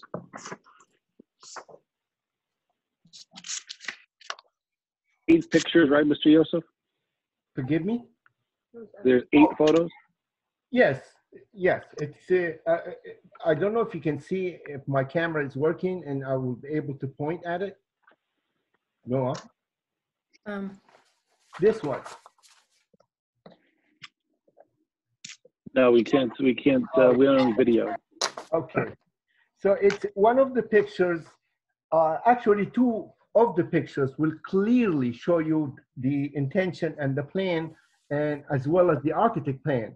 Um, that it's only the, the, the garage, like I said, i- it's built on the borderline of the building. Uh, like say one third on the right side exists the garage and on top of it there is a bedroom and the bedroom is recessed eight feet in, on top of the of that garage. So what we're planning or hoping to do is just to build a wall, odd, you know, on the borderline of the front, and then another one on the side of the house to to close that eight by twelve section to again to turn into um, a closet, a walk-in closet. I'm confusing you, right? I'm confused. No, no, no, I, I'm actually looking at the picture you sent in. It makes perfect sense to me. The, um, so the, the, the house is currently brick and it looks like, is that cedar shake or is it wood siding? Yes. So what is your plan for the exterior materials used on the, I, we- on the proposed addition? We're gonna do a whole new siding. We're gonna re-side the entire top. We're gonna keep the brick looking. We're gonna keep the Tudor looking, but we're gonna do a whole new siding all around the house. And again, unfortunately, uh, w- this was our project number one when we moved in. But when we found out that this this uh, problem exists, and we hope that it will, we thought it would be done sooner, so that delayed the siding of the house. Um, and here we are, almost two years after, and we're still in in in the in, in the hope that we can get this done, so we can you know reside the entire house. You've got it. Are there, uh, let's go around. Isaac Lebo, any questions? No questions? Um, who's, uh, Greg Brown, questions? Uh, no, no questions. Diana Rule? Yes, I have a question. Um, or, no, well, have you thought about putting a window in the front of the house in that closet, even if it's a fake window? I Um, love you. Yes, we're going to move that window as a facade, just to keep the look. Yes, because if not, you've got, because it's not in your plan when I was looking. I know, I know this was not maybe added but thought of. You know, actually, my wife suggested maybe we should, and and and you know, I, I said, you know what? I like her. Okay. Well, the, the, we, we decided, you know what, we, we can, we can put a, a window in the front as a facade. I mean, my problem with that was, oh, it's not gonna be, um, um, a, a, a, a space that we can use for, uh, for, for, you know, as, as, as part of the closet. But we, you know, we said, you know what, we can just, you know, just make it a facade window. Yeah, because you need it from, for the aesthetic quality of it. Okay, you got it. I'm all done. Sounds good. All right, good. Dan, Dan Perlman? Questions? Ask me, come on. No, no, no, no, no questions. Sounds good. Uh, Matthew Bandelt, questions? I understand the application. Come on, Gary. Sorry, was that no? No, I, I have no questions. Sorry. Uh, Gary, Gary Negritz? No. Wow. What an Oh, he was ready for you, Gary. Uh, okay. Um, Mr. Pepitro, John Pepitro, any questions? Just a little clarification on the siding for the second floor. Would you uh, clarify cedar shake or what you appear to show on your plan here, your page two of two, clapboard siding? uh, Be a little more specific. What are you going to use? Um, honestly, Or something different? no, honestly, we're gonna explore um, a, a high quality vinyl siding all around except the front. Okay, I understand that. And, and uh, also on Diane's question about a window for that room, I would say that would, uh, looks like it needs something there. It's just a large open space. Maybe you could get creative and put some kind of a stained glass window in there. Um, hey, okay. I mean, I'm not recommending. I would say, yeah, we try. Go more than just a Yeah, big get- window. Get more expensive, please. Hold on a second. Can I just, you said siding all around except the front? Yes. You're leaving the brick all around the bottom, right? Oh, no, the bottom, yes, we're not touching the bottom. The bottom, it, it- it's, it- I mean, the, the picture really does not do it any justice. The bottom of the house is beautiful. It's beautiful. It's beautiful. It's like a few farmers put this uh, on the bottom. It's so uneven. It's so cute. It's like, you know, like if I, if, if I did that myself, that how it would look. I would not. So, but you're leaving the brick along Absolutely. the bottom. Absolutely. Not touching it. Oh. All right. Just the, the, the, the, the, sh- the shingles all around except for the front. So, I'm sorry, so what, what are you gonna do with the front, above the brick? The front, we're gonna re, um, uh, uh, uh, wha- whatever you call it, repair it, fix it, replace rotten wood, uh, replace the uh, molding, whatever it takes, and, and the, uh, stucco. So why wouldn't you put the same material all around? On the front? Oh, the stucco, uh, you mean, uh, put vinyl on the front? So what's on the side? The side is uh, cedar shingles. So why don't you just continue cedar shingle all around? One, honestly, it would be very expensive. Two, um, it will be very tough to maintain. You know, my neighbor has to paint his house almost every five years, and he said it costs him somewhere between ten to fifteen thousand dollars to do. Uh, when you can, we we we looked at uh, vinyl siding that looks exactly like shingles. Yeah, no, so I'm saying it may be better if you do the whole thing the same. because we want to keep the Tudor integrity of the house. So the front, we're gonna try to maybe like use um, uh, maybe a little bit more high-tech material uh, to to, uh, to to to to fix. But I would like to keep the look of the house. You know that side, the the Tudor look, the two-tone, and the um, and, and, and, and we, we, you know, we actually took some uh, recommendation and took some estimates for people to, uh, you know, to, to do exactly that. It's Okay. not either, but you know, To look similar. exactly. Okay. All right, thank you. You are very welcome. Okay, uh, Dylan, now is the time for any members of the public who have any questions for Mr. Yosef? Raise your hand virtually, send in the chat, let us know. I'm showing no chats and no hand raising and nobody's dialed in. Okay, and so we'll just, for formality's sake, uh, ask anyone if they have any comments. Now is the time, raise your hand. Chat, nothing? No, I'm not showing anything. I think the last people are in our list. Two uh, applicants. Two applicants? Okay. So, Mr. Yosef, now is the time for just uh, any uh, closing statement. You don't, not required, optional. Um, and then we'll close the hearing and deliberate and vote. No, um, um, I, I just thank you for your uh, uh, time and uh, for putting me on the calendar today. All right, very good. You're welcome. So the hearing is now closed. We'll now entertain any board member deliberation, comment, and or a motion. I'll make a motion to approve with the provision that the uh, street face of the addition uh, contain a window and carry forward the facade look. Second. Uh, Very good. Uh, Do we have a second? Second? Okay. Okay. Uh, Greg Brown, Yes.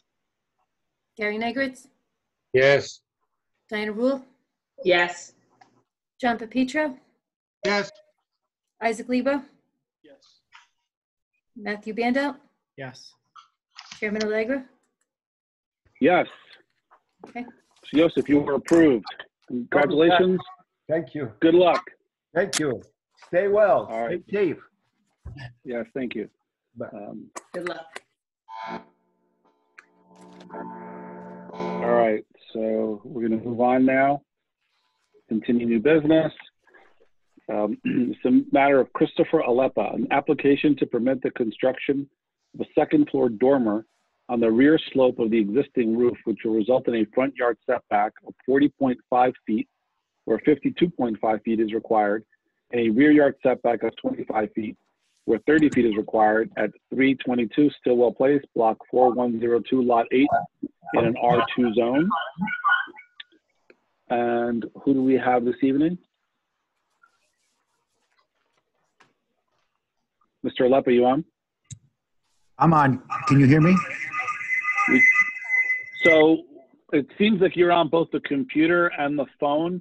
I just If hung up so, the I phone. think- All right, so you're just on the computer. All right, good, because we had that, that feedback. Um, Is there anyone else that's going to be testifying this evening? Yes, I, I have uh, Vince Chaffee, he's the architect.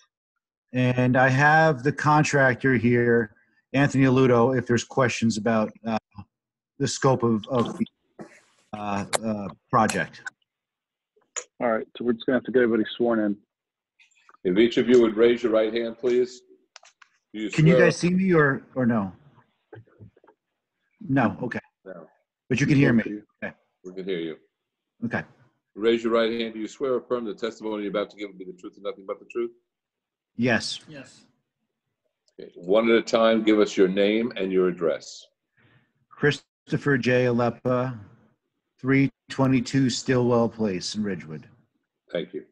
Next, Anthony Aludo, 96 Washington Avenue, Westwood, New Jersey.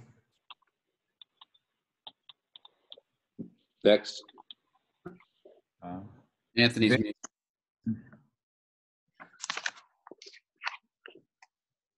Vince, you, uh, they're looking for you to uh, be sworn in, Vince. No, Anthony. Oh, uh, Anthony Aludo, 96 Washington Avenue, Westwood, New Jersey. That one's showing muted. We're having some trouble with, I think, Okay. Mr. Budo's audio. Can you guys hear me now? Oh, he's dialed in twice. So, Mr. Ludo, if you are in um, on the phone and via the computer, you're going to need to log Yeah, off of I- one of them. Yeah, I just, mo- I moved away. Can you guys hear me now? Yes. Yes. Okay, I'm sorry. Uh, my name is Anthony Ludo, 96 Washington Avenue, Westwood, New Jersey. All right, so I think um, Mr. Whitaker is going to qualify any experts. Yes, have the architect give us their qualifications and background.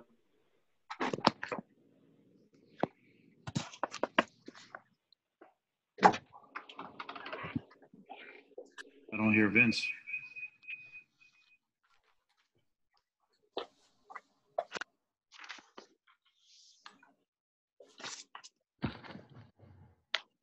Uh, He just texted, he's having microphone trouble. He's going to use the, pho- he's going to call in on the phone right now. Sorry.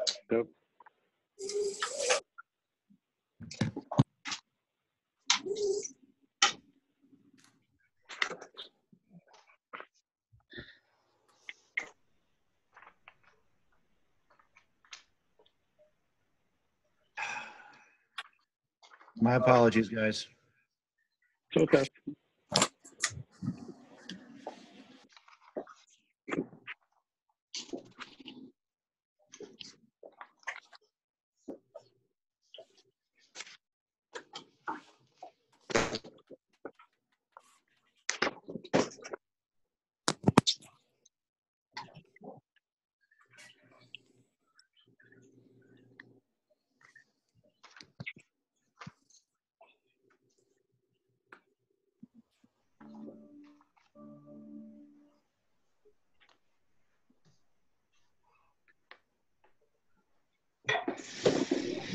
Hello.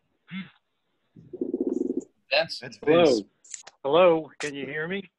Yeah. We can hear you. Yeah, I had to dial in on phone. I had some microphone issues. Mr. Siwa- Siafi, could you give us your professional um, uh, and educational background in connection with your field of architecture? Uh, yes, I have um, a Bachelor of Environmental Design degree from Miami University in Ohio, a Master's of Architecture degree in Miami University, University in Ohio, both uh, in the late 70s.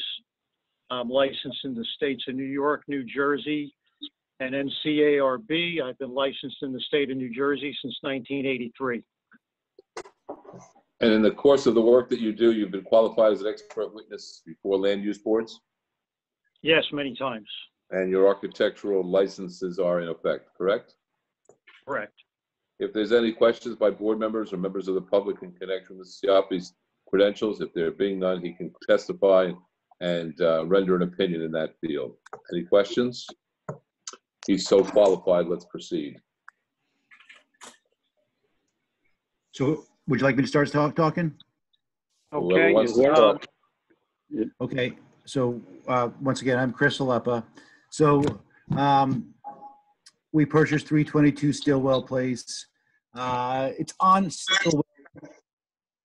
It's on Stillwell Place, which is a very narrow road. Uh, uh, speaking to Leslie years ago, and this is the house that we purchased. Uh, it used to be a two-way road, which I find hard to believe since it is so narrow. It's a one-way road now. Um, we're trying to keep the house essentially looking the same. We don't want to have this big McMansion type house. We want to have something that fits into the community, in the neighborhood. So in doing that, we found a house. Um, we submitted plans essentially just to do more of a gut inside uh, and work with the upstairs um, uh, living space, the attic, which was being used as a bedroom upstairs, but um, to walk up the stairs was very even difficult. You know, the headroom wasn't there. So what we wanted to do was to do a uh, a small addition or not addition dormer, uh, keeping the four existing walls just the way they were, not going outside of the four walls, and from there uh, use the dormer and then have a living space that was accessible or, or uh, able to work with. As far as the setbacks, as far as the um, uh, where we got caught up with, and we, we didn't know we were going to have an issue when we s- excuse me, submitted. I would like just to leave that to um, Vince Chaffee, since he has all the knowledge in that. And he's been talking to the building department. Uh, If that's all right, would, was it okay to turn that over to him at this time? Certainly. Sure. Um, okay, thank you. Um, it's a, it's a very strange property in uh, in that the, the, uh, front yard set, required front yard setback and required rear set, uh, rear yard setback actually overlap. Um, so we have zero, zero space to build. Um, the entire house is, is non-conforming, um, to the zone. Uh, when we started to work on the house, we were trying to work within the space that we had. Um, you know, because we wanted to keep it to a, you know, modest renovation. And it turned out that, um, uh, the upstairs, although finished and open, uh, as living space, really was, it didn't meet code in any, any, uh, any fashion. Um, it was one big open room and we wanted to create two bedrooms up there. And when we did that, we lost its grandfather status. Uh, we had no way to get egress windows in. Uh, the stair was too steep. The headroom clearance on the stair was inadequate. Uh, so I was able to design uh, the house so that I would not um, I would not uh, interfere with the existing ridge line. So the house has not created to any new height. Um, the dormer is all within the, the rear slope setback or the rear slope of the roof. Um, and um, just sort of works itself in, gives us enough room to to get uh, two bedrooms and straighten out the stair problems and um, and uh, you know get really what we want to get out of the house. Uh, from the front, you wouldn't know we were doing any work at all.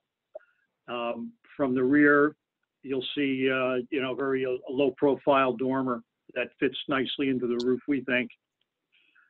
Um, I don't, I think that basically describes what we're trying to do. Correct to say that the dormer that you're proposing uh, does not uh, go outside the footprint of the existing dwelling unit? That is correct. Everything is within the existing uh, footprint. Actually, Vince, we're staying in a foot, I believe, too. We're coming in a little bit off it. Uh, yeah, we are. We're not going out to the edge of the back wall. Siding on the dormer going to match the existing siding? Yes.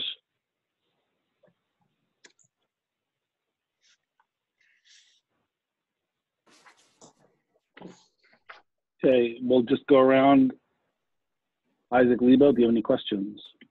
Um, I noticed that the properties get quite a few trees. I noticed there was some work done um, removing branches on some of the large trees. Are you guys going to be removing any of the large vegetation to add the dormer? I could bear, I could barely hear the question. Did you say, uh, ask if we were going to put vegetation in to hide the dormer? No, no. Um, I was asking. I noticed that you. Can you hear me any better? Are you? Yes. Okay. Um, Chris, can you hear? Yeah, it's very hard to hear Isaac. I can hear him now, though. Okay. Yeah. Um, I, my question was uh, pertaining to existing vegetation, mainly the, the large trees that you have behind the house. Are you having to remove any of uh, the trees to add this? No, uh, no, we, uh, we had to trim up a couple of lower limbs that were dead. Uh, and there was another tree, but not right in the back, that was removed, that was rotten, been dead probably seven years. Nothing stays. The big massive trees will be there. You won't know that anything's been removed except for the lower limb. It was, Okay. And I can't recall what is directly behind, because I don't see it on the pictures here. What's directly behind the house? as far as, so there's, uh, that, those houses are the ones that are on Maple Avenue.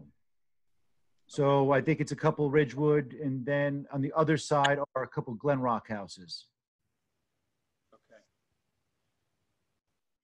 Um, all right. I don't have any additional questions at this time. All right, thank you. Gary Negret, any questions? No. Greg Brown,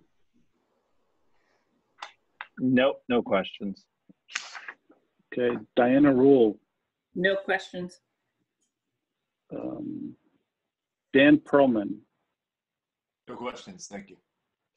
Matthew Bandel, No questions. Thank you. and Jonathan Pepitro. Uh, No questions, thank you. Uh, Well presented. Okay, so now we're going to open it up to members of the public. If there's anyone out there listening who has a question of the applicant or the architect, now is the time. Please virtually raise your hand and in the chat, let us know you want to speak. We will unmute you. Dylan, anyone? I'm not showing anybody. All right. Anyone with questions? Same thing. Virtually raise your hand, send us a chat, let us know you want to be heard. No one? No. Okay. So we'll turn it back to the applicant. Um, now is the time for any additional uh, testimony, or if you're done uh, presenting your application, you can make a closing statement, and then we'll close the hearing. I don't have anything to say, except I think that it, it's a uh, nice addition with everything being updated and redone. Uh, It fits into the community, it fits into the street, nothing that's overbearing. Um, And uh, as far as an addition goes or any kind of remodeling, it, it it works really, uh, really nice. Um, I don't have anything else. I don't know if Anthony, if you had something to say. No, I'm okay. Okay, we will close the, na- the hearing now and open it up to board members to comment, deliberate, or move, uh, make a motion. Make a motion to approve, um, given the um, existing location of the property and that it does not uh, exacerbate any conditions. Second. So that was Isaac? Okay, Isaac seconded. all right. Um, Greg Brown, Yes. Gary Negritz, Yes. Diana Rule, Yes. John Pepitro, Yes, Isaac Lebo, Yes. Matthew Bandel, Yes. Chairman Allegra. Yes. All right, Mr. Leppa, you're approved. Good luck with your renovation. Thank you, guys. Thank you very- very much for hearing our case. And Ja- Jane, thank you for putting up with my stress. Thank you, guys. Thanks, uh, Stay- thanks, stay healthy. everybody. Thanks, Thanks a lot. everybody. Bye-bye. All right. So I'm gonna give everyone just a five-minute uh, bio, or I'm gonna go get another thing of water break. Um, And then we'll resume with the last application of the evening, which is the Warden matter. Okay. I might as well mute.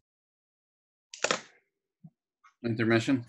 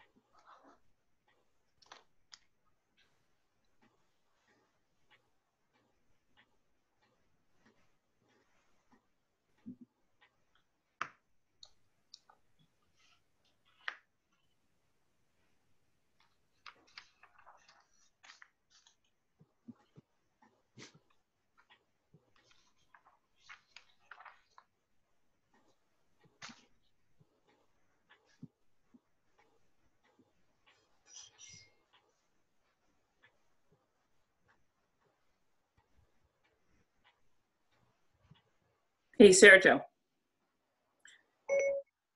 Just want to let you know, I only have 3% on my iPad. If I die, I'll come back on another computer, but giving you the, I'm charging, but it, it keeps going down even with the charger on. So, All right. sorry. Duly noted. That's, that's the, I'm in a somewhat similar situation, but I probably have an hour, so. Oh no, I, I got 3%. Oh I was at goodness. five before. So that's why I I'm the video. Yeah, I'm know. assuming if I stop video, it would be better. I wouldn't lose it as quickly. Hmm. Yeah, has to be. Yeah, so I right, so I just checked. I'm at 48% on my phone. So that's good. I'll have to switch. So if I go, I'm gonna have to rejoin. Okay. Sergio, before we get going, I'm having some difficulty hearing Isaac. He sounds very muted. Everybody else is very clear, but Isaac, I, very muted, very low. Yeah, that's a fair point. Isaac, can you hear us? Yeah, I can hear you. Can you hear me? We, Yeah, so you're definitely you're definitely light. Um, so if you could speak like when you're going to speak, get close to the whatever microphone you have.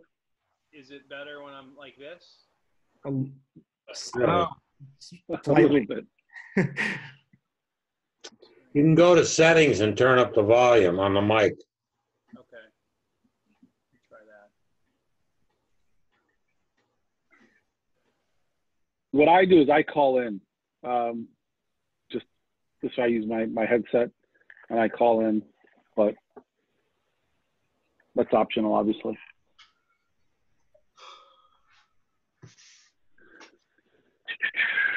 Wow, that is some Greg. That looks amazing. Nice. Wish I was there. Yeah, you guys are all All right. welcome. You can all come up if you want. Why he's at this meeting, I have no idea. I know. you know, Greg, that's that's why we have that's why we have uh, alternates and uh, multiple. You know, a large enough board. You can Oh, take come you're on. entitled to a vacation. You can have a I needed- vacation. I needed a little break from the kids, so it's been good. Oh. Although it is my, although I'm getting the stink eye. It's my son's birthday, and uh, I'm down here instead of there with him. But it it No happens. better, All right. Sergio. I know, I'm terrible. So, um, Diane, I know you. We can't see you because of your um, battery issue. Dan Perlman, are you? Are you in front of the computer yet? 'Cause you're. All right, so he may need another minute. I'm As soon as here. Dan. Yep, gotcha. All right, we'll get started as soon as Dan. Uh, as soon as we see Dan.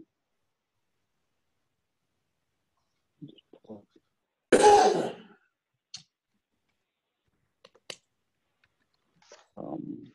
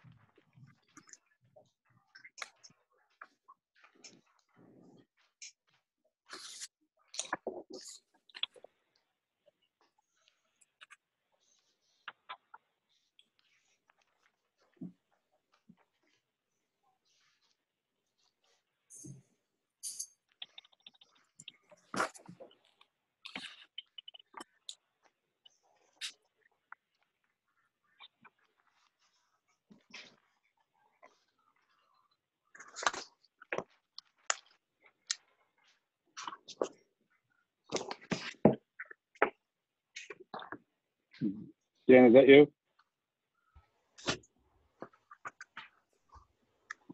Sending a text. Oh, I'm sorry, I didn't realize you were waiting for me. Just making sure. Oh, there you are. Okay, good. So we will get started on the last matter of the evening. This is Gregory and Anastasia Warden. An application to permit the construction of an in-ground swimming pool with spa, patio, and barbecue area within the front yard setback, which is not permitted and which will result in a front yard setback of 11 feet to the pool, 14 feet to the patio, 23 feet to the pool equipment, where 40 feet is required, and a fence wall height which exceeds what is permitted at 320 Fairway Road, Block 3604, Lot 1, in an R1 zone. Okay, so who do we have uh, this evening? Everybody else has to come on. All right, so we got Mr. Rutherford, I see.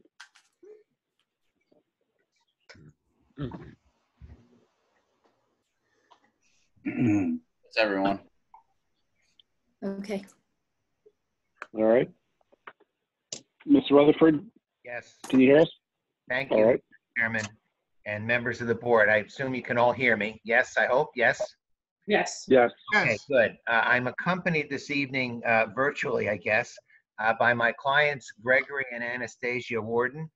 Uh, Len Di Tomaso, their landscape architect, he's actually physically with them at the moment. And Joseph Burgess, our professional planner. So I just want to make sure that they have all been unmuted and are part of our, I assume I am. Mr. Yes, Burgess is here. can you Thank hear us? I can hear you loud and clear. Mhm. Yeah, and I believe Mr. and Mrs. Warden and Mr. Di Tomaso, you were there as well? Yes, can you hear us? Yes, we can. I can. Mr. Chairman, can the board hear my witnesses? I could, I could hear everyone, so why don't we just get everyone sworn in and move That's forward? fine. Thank you, Mr. Chairman. Okay, uh, Mr. and Mrs. Warden, uh, Mr. Di Tomaso, and Mr. Burgess, if you would raise your right hand, do you swear or affirm that the testimony you're about to give will be the truth and nothing but the truth? I do.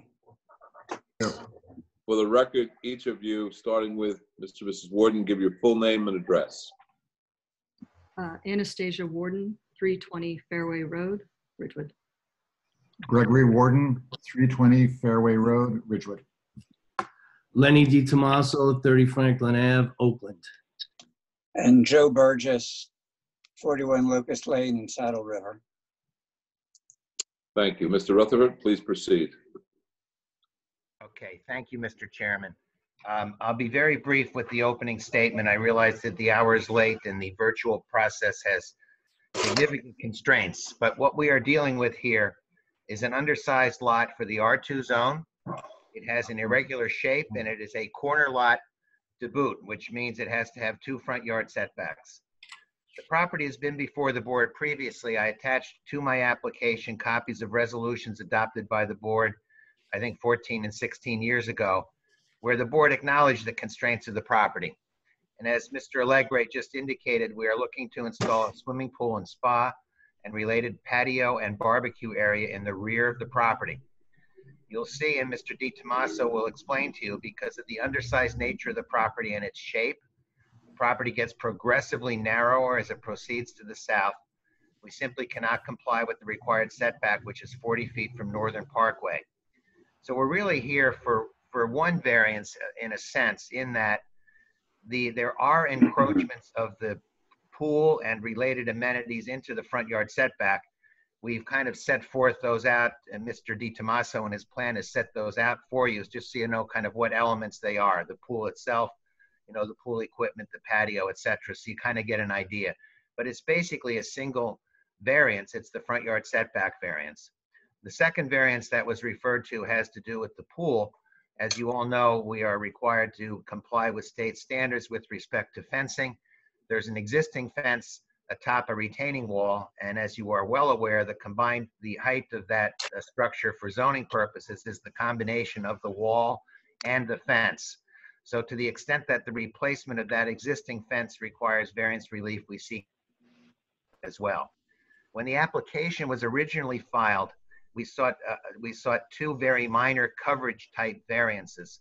Uh, Since the filing of the application and the preparation of the plan that you have in front of you, those variances were eliminated. And you'll see in the upper left portion of Mr. Di Tomaso's plan, he has provided a very detailed coverage uh, analysis and calculation to demonstrate that we meet all of the coverage provisions of the ordinance, which I would submit is a bit unusual. Um, The proposed amenities, and Mr. Di Tomaso will tell you this, are not unusual. The pool is not large. It's only 530 square feet, where 800 square feet is, is very common. So we think really we are here because of factors relating to the property as opposed to the improvements that are planned. I'm sure the board is familiar with the Northern Parkway roadway. Uh, There are houses to the east and the south. We comply with all of those setback requirements. Where we encroach is on the Northern Parkway side, and as you all know, on the other side of Northern Parkway is the Veterans Field and related parking area. Mr. Di Tomaso is going to show you an exhibit that shows the extensive landscaping that's proposed that will effectively totally screen the installation from the view of the street, which works to the advantage and the benefit of my clients as well as passersby. Um, and I mentioned a- moment ago the, the replacement of the existing fence. So we have testimony from Mr. Di Tomaso and Mr. Burgess.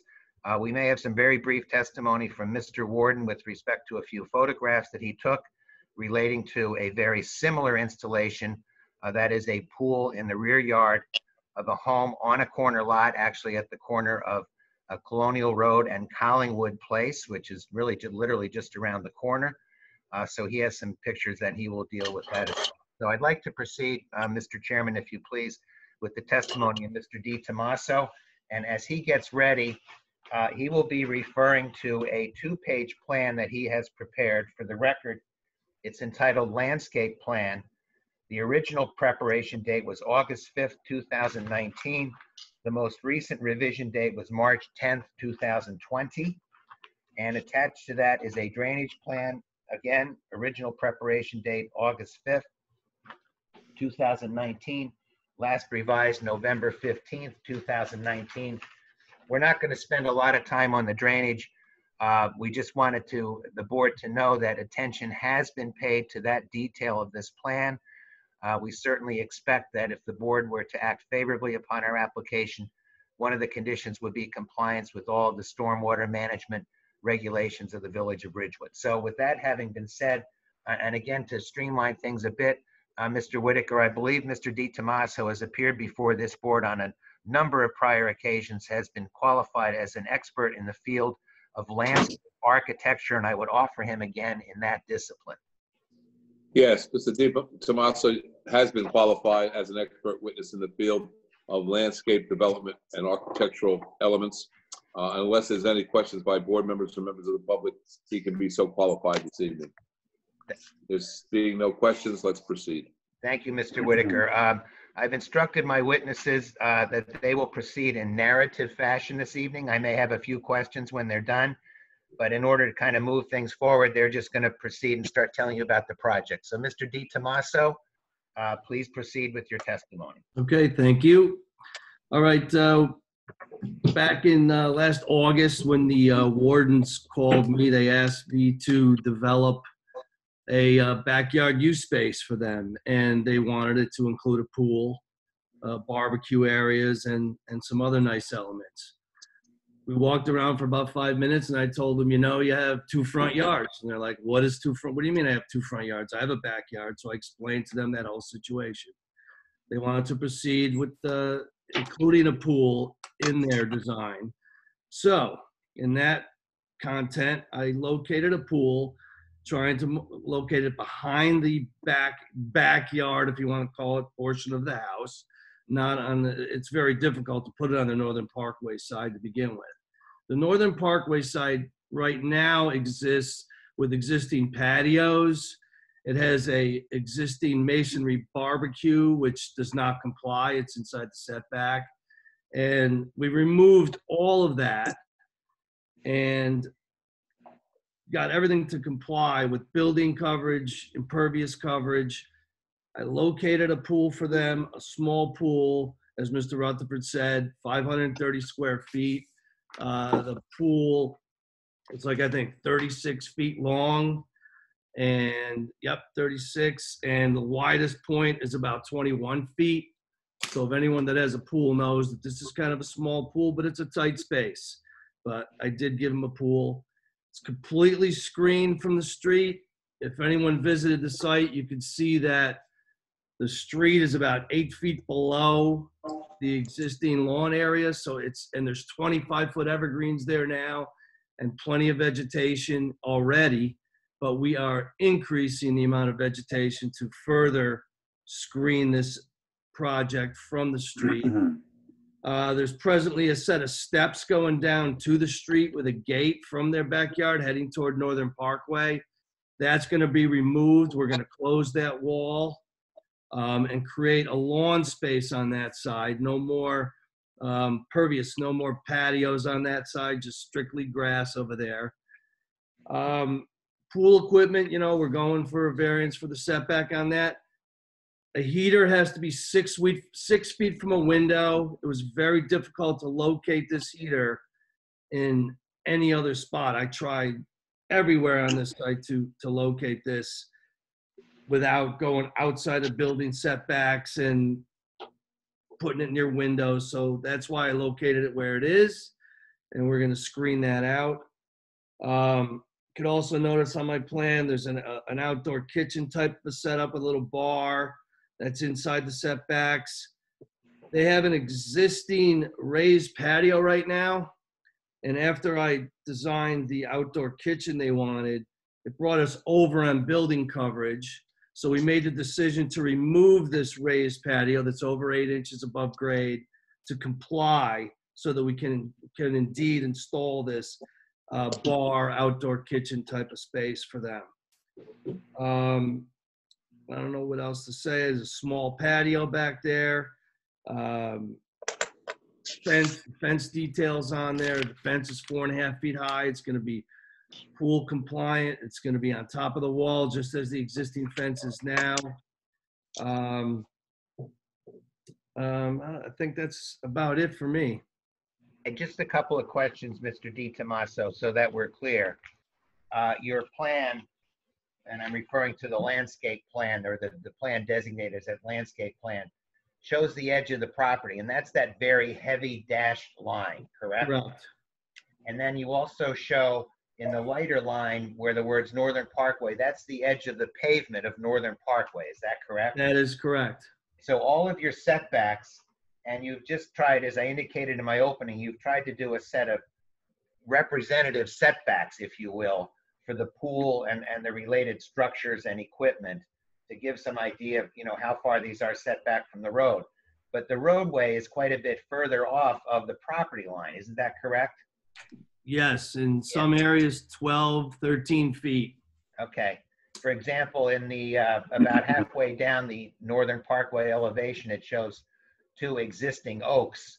That, that's probably the, the, the point where the, uh, the, the pavement of Northern Parkway that's farthest from the property line. Is that right? Correct. About Okay. 14 feet there. Okay, and just to orient the board, you'll see those steps that are a little bit further to the south of those trees. It says remove existing steps and stepping stones. That's like a little stairway that goes down into the right of way right now. That's gonna come out. Correct? Yes. Yeah, okay, good. And you also, just to point out to the board, I'm sure they've seen it, but in a dotted line, you've shown the front uh, side, uh, the front setback on Fairway Road and Northern Parkway, and then the side on the east and the rear yard setback on the south. So that's kind of a relatively small triangular area, correct? Yes, it is. Yeah, And actually was the source of variance relief granted by this board a number of years ago to permit some expansions to the home. Um, You you testified earlier that the side yard setback for all of these improvements, and by that, the side yard being the easterly portion of the property, everything complies with the required side yard setback in that particular location, correct? For That is pool, correct, patio, yes. Yep. barbecue, everything. Yes. And we also um, comply to the rear yard setback as well for all of the improvements that we're proposing. Yes. Okay, what's located uh, between the pool and the southerly property line? Uh, What, what's in that area? Between, well, the driveway to the house, the garage is there, there's the driveway. And between the pool and there's a wall, with the existing retaining wall with vegetation on top. Okay, How high is that, how high is that wall approximately? Okay, so the wall, it's, it, it's, it meets grade about where the entrance is, up by the garage. And then down by the street, it's about three and a half feet high to the top of the wall. Then the wall stays consistently about three foot nine, three foot 10 feet high all the way to uh, Fairway Road. Then there's a double tier on the corner of Fairway. Okay. Then the property slopes from the wall to Northern Parkway. Us, giving us about an eight-foot elevation grade from Northern Parkway to the top of the wall. Seven feet, six ten, some areas, it, it varies. Okay. And there's, you testified earlier that there's already a fence on top of that retaining wall approximately four feet in height. Correct, but that fence does not meet pool code, so we have to change it. Okay. And the pool code, you've shown a detail for the fence that we're proposing in the uh, upper central portion of your plan. Yes. That's a compliant, for all intents and purposes, four foot high compliant pool fence. It's four and a half feet high, and actually, our fence guy showed that fence to Paula, and she said that fence complies, yes. Okay. All right. And then I'd like you to talk just a little bit more about the land. And I think you have a rendering, uh, Mr. Yes. Chairman. I, I don't know if the board is, is, has been in the, in uh, the practice of offering the share screen feature, but Mr. Di Tomaso has, has a colored rendering of the plan that you have in front of it, identical to what you have in front of you. It's just a colored rendering that might be helpful to the board. If we're able to do that, we are prepared to put that up. If not, I'll have Mr. Di Tomaso just testify to it. You can put it I up. think, I, but I think we have it. There we go. Yeah, we, Well, Maybe you do. we, I'm uh, sorry. we have this. Oh, you do, Mr. Chairman. Thank you. Okay, it's, uh, Yeah, does every, uh, well, you, you can show it anyway, but yeah, we have this. I appreciate that. I'm, s- it, it, keeping track of, of plans and exhibits and whether they're posted or not is a little bit challenging these days. Okay, Mr. D, thank you, Mr. Chairman. Mr. Di Tomaso, why don't you just walk the board quickly through uh, what's there? You've, you've made an attempt here to show what's there, correct? Yes. And what's also proposed. So maybe. Right on the west side where that. Northern Parkway is, you can see the existing evergreens on the corner there. There's one, two, three, there's six, one, two, three, four, five large spruces, there's oaks. Um, underneath that, but underneath those trees are some larger, large vegetation, like six to seven foot high, like viburnums and nice vegeta- vegetation coming up. And then you can see some rows. I'm proposing to add like arborvitae's and plant material to further screen that off. So the view from Northern Parkway is completely blocked. Um, on the east side, you can see a row of evergreens like arborvitae. I have to use tall, skinny plants because there's just no room for wide plants to grow here. So I'm screening the uh, property, and there's a lot of vegetation on that side too, on the neighbor's side. But we've increased, uh, we've added some more plant material there. And uh, same thing with the pool equipment. We Plant around the pool equipment to uh, screen that from inside, and I- I really don't think anyone's going to see it from the street. And that's, that's the function of the existing landscaping, the proposed landscaping, the difference in elevation between the property and the roadway of Northern Parkway, and also to, to a certain extent, the distance between the property line and the edge of the pavement. Yep, correct. Okay. And that's obviously been done not only for, to shield it from the view of passersby, but also to give our clients a, a degree of privacy and enjoyment for this area in the back of their house. Correct. And, and you testified that, I think along the perimeter at least, of the pool area in Northern Parkway and, and, and the inside of the, the fence surrounding the pool and its uh, southwesterly corner, those are evergreens, and along the easterly property line are evergreens. What are, what are other, there are some other representative plantings in there? That's, in, in front of the evergreens would be some decorative plant material, flowering shrubs, perennials that would be enjoyable from the pool area. And so, given the choice of the plantings, the pool is really going to be effectively screened from view 365 days a year, correct? It won't be affected by seasonal, leaves come off in the fall and come back No. in the spring. That is correct. It'll be screened all year. And I, you, you mentioned this briefly, but in my opening statement, I, I mentioned that a 530 square foot pool is, is, uh, you know, on the smaller side. And you, you do a lot of these, I know.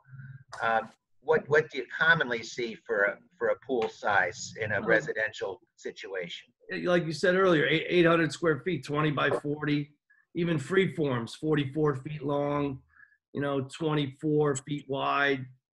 So it's it's it's small, but it's a small piece of property. So we had to design it to to fit and to to work with this piece of property. Okay. Um, And just to confirm, we, I don't think we necessarily, we're certainly not going to go through all the coverage numbers. There's, there's, they're mind boggling up there, but uh, there's a lot of numbers. And I, just to confirm what I said in my opening, we comply with all the coverage requirements of the ordinance, correct? Yes. And you've given drainage some thought and are satisfied that if the board were to act favorably upon our application, we can indeed comply with all of the requirements of the village engineering department with respect to stormwater management. Absolutely. Okay, that's all I would have, Mr. Chairman. Thank you. I appreciate your time. Thank you. Great. Um, Now we'll open it up for questions. Uh, Gary Negritz, any questions? No question. Hang on here, let me see if I could.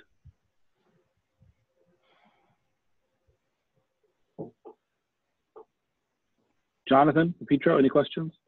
Uh, No, Mr. Chairman, uh, no questions. It's a very nice plan, and I appreciate all of the uh, landscaping work in addition to the fitting everything onto the property. Very good. Isaac Lebo, any questions? No questions. Okay, uh, Greg Brown.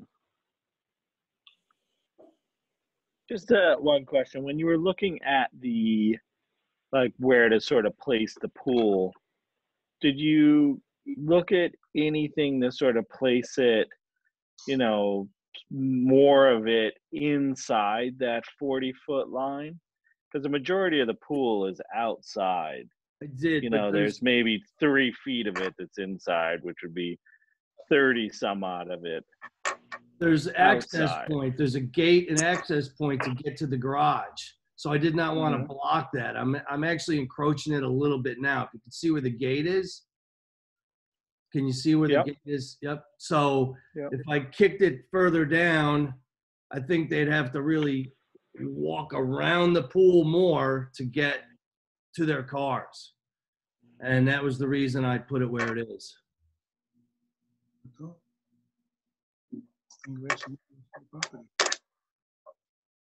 Hey, thanks. Nancy Bandel? Uh, No, I had the same question as Greg, but um, I understand the answer. Okay. Um, Diana Rule? Yeah, I've got two questions. Um, the fence. Is, is it gonna sit right on top of the wall? No, it's it's going to be in concrete footings right behind the wall. Okay, I just, um, and Jane, maybe you, I think, I thought it had to be a certain number of feet back from the wall. Um, If I Yeah, we- remember the code, we've had this issue before. You can't put a fence right on top of a wall. It has to be set back. Well, Diane, that's why they're seeking variance relief. No, no, I know, but, but that's not what the relief is for. The relief is for the height of, it's, right now it shows like it's right on top of the wall. No, it's it's set back off the wall. It's not in the concrete. But it's the it would- it would combination of the destroy wall. It would Right. destroy the wall. It's the But what combination I'm of the wall saying and the is fence. the different, there's a different variance for the combination of the two for the height versus the setback of it.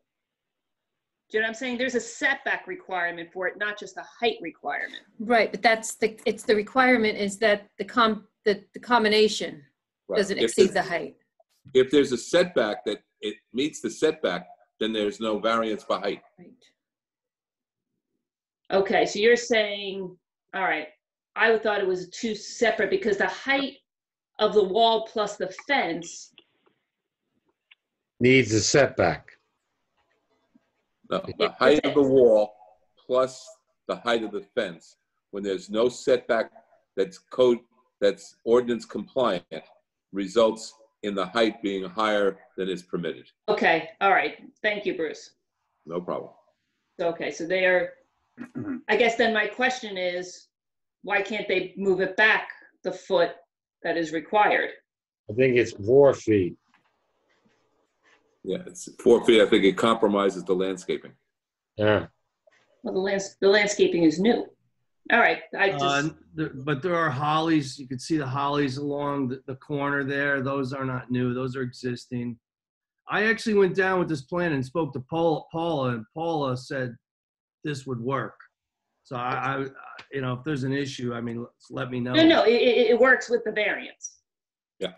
Yes, we acknowledge, we acknowledge we need a variance, and, and I, I appreciate what Mr. Whitaker said. I think he's, his interpretation is exactly correct. Yes. That when you have a fence, I'll say, for lack of a better word, in the vicinity of a wall, the height is the combination of the fence and the wall unless the fence is set back from the wall a distance equal to its height, correct? And then it, then it complies. Okay, thank you. Sorry, and, and maybe I confused that and I didn't want to. If I did, I, that was not my intent. No, no, you guys helped. Thank you. Um, the other one I had is the zoning table, and maybe someone can help me. The, the pool is included in coverage by all improvements. Is that correct?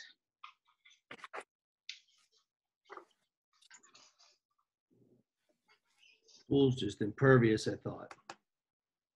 But isn't that coverage? I don't know, Jane, I'm asking. That's my It question. count, yeah, the pool counts. Yes. And it, and is included in the calculation. Correct. So you're removing, so right now, if you, you're at, and I'm looking at the handwritten zoning table, is that the right one? It may not be. Um, No. No, mine's all typed up. All right, I'm trying, that's. I No, thought- no, because the plan was misruled. The plan was revised after that was submitted. Right. What you need to refer to is Mr. uh, Di Tomaso's plan in the upper left corner. And you'll see when he does the coverage by improvement calculation, he has an entry for the pool, the patio, and uh, kitchen area. So that's the, the answer to your question is yes, that is included in the coverage by improvement calculation. Because the existing, so your existing, so this- so you don't have a zoning table. So right now you're, Mr. Di Tomaso's landscape plan shows the coverage, but it's not on the chart for all the other. I know, and that's what I'm trying, I was looking at the chart and it shows an increase in above grade cover of all improvements of only 235 feet.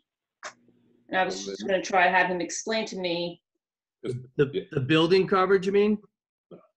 no, Now, Mr. Rutherford in his opening stated that the coverage will meet the ordinance requirements as per Mr. Di Tomaso's landscape plan uh, calculations. So that supersedes what's on the chart that I was know, submitted to the I'm trying application. to understand, trying to make sure that they're correct. Excuse me, Bruce, I could help when it's my turn to Yeah, you can help. testify.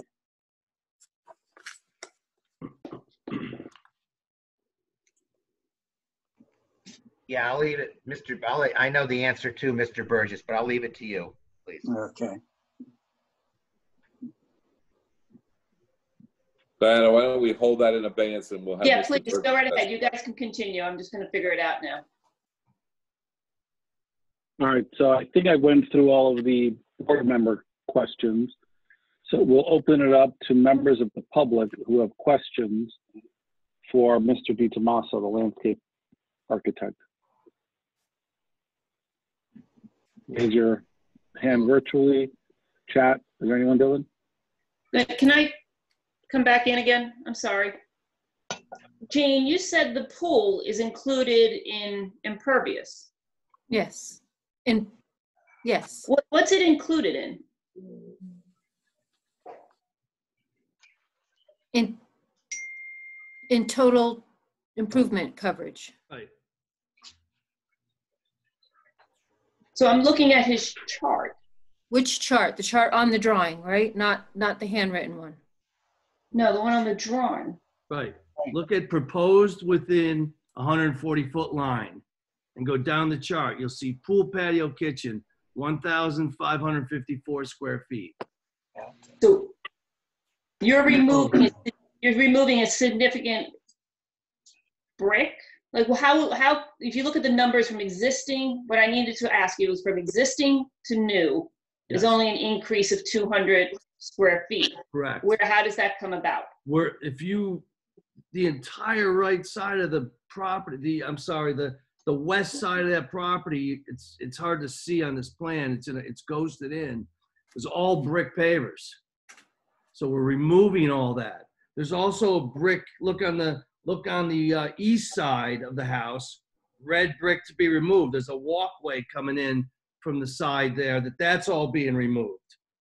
So I've removed quite a bit of existing paver patio to comply with this plan we have here. Mr. Di Tomaso, in your plan where you show existing lot coverage, existing lot coverage over the total lot, you have an entry there for rear red, I'm sorry, rear red brick, 1,172 square feet, correct? Yes, That's the area that you just referred to. That's what you were referring to Correct. a moment ago. correct, and that's all coming out. And when you see your proposed lot total, you say rear red brick zero because that's all been removed. Correct. And so you're increasing, but the pool, patio, and kitchen now are fifteen fifty-four. Correct. Correct. It So- did, in- it did increase a little bit. But it still complies.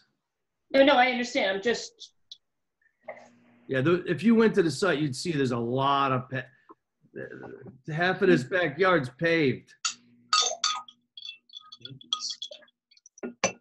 Do you, do you want, to? do you have pictures of I- existing? We have some I'm pictures of existing. just trying to, I'm just comparing. And you're getting rid of the stepping stones, the slabs. Yep.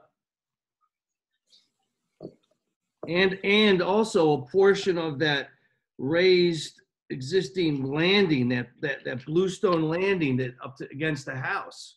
You could see it dotted, in a dotted line, it goes all the way across the back of the house. We're removing that and we're just putting in a set of steps coming off the two doors. So all that was removed.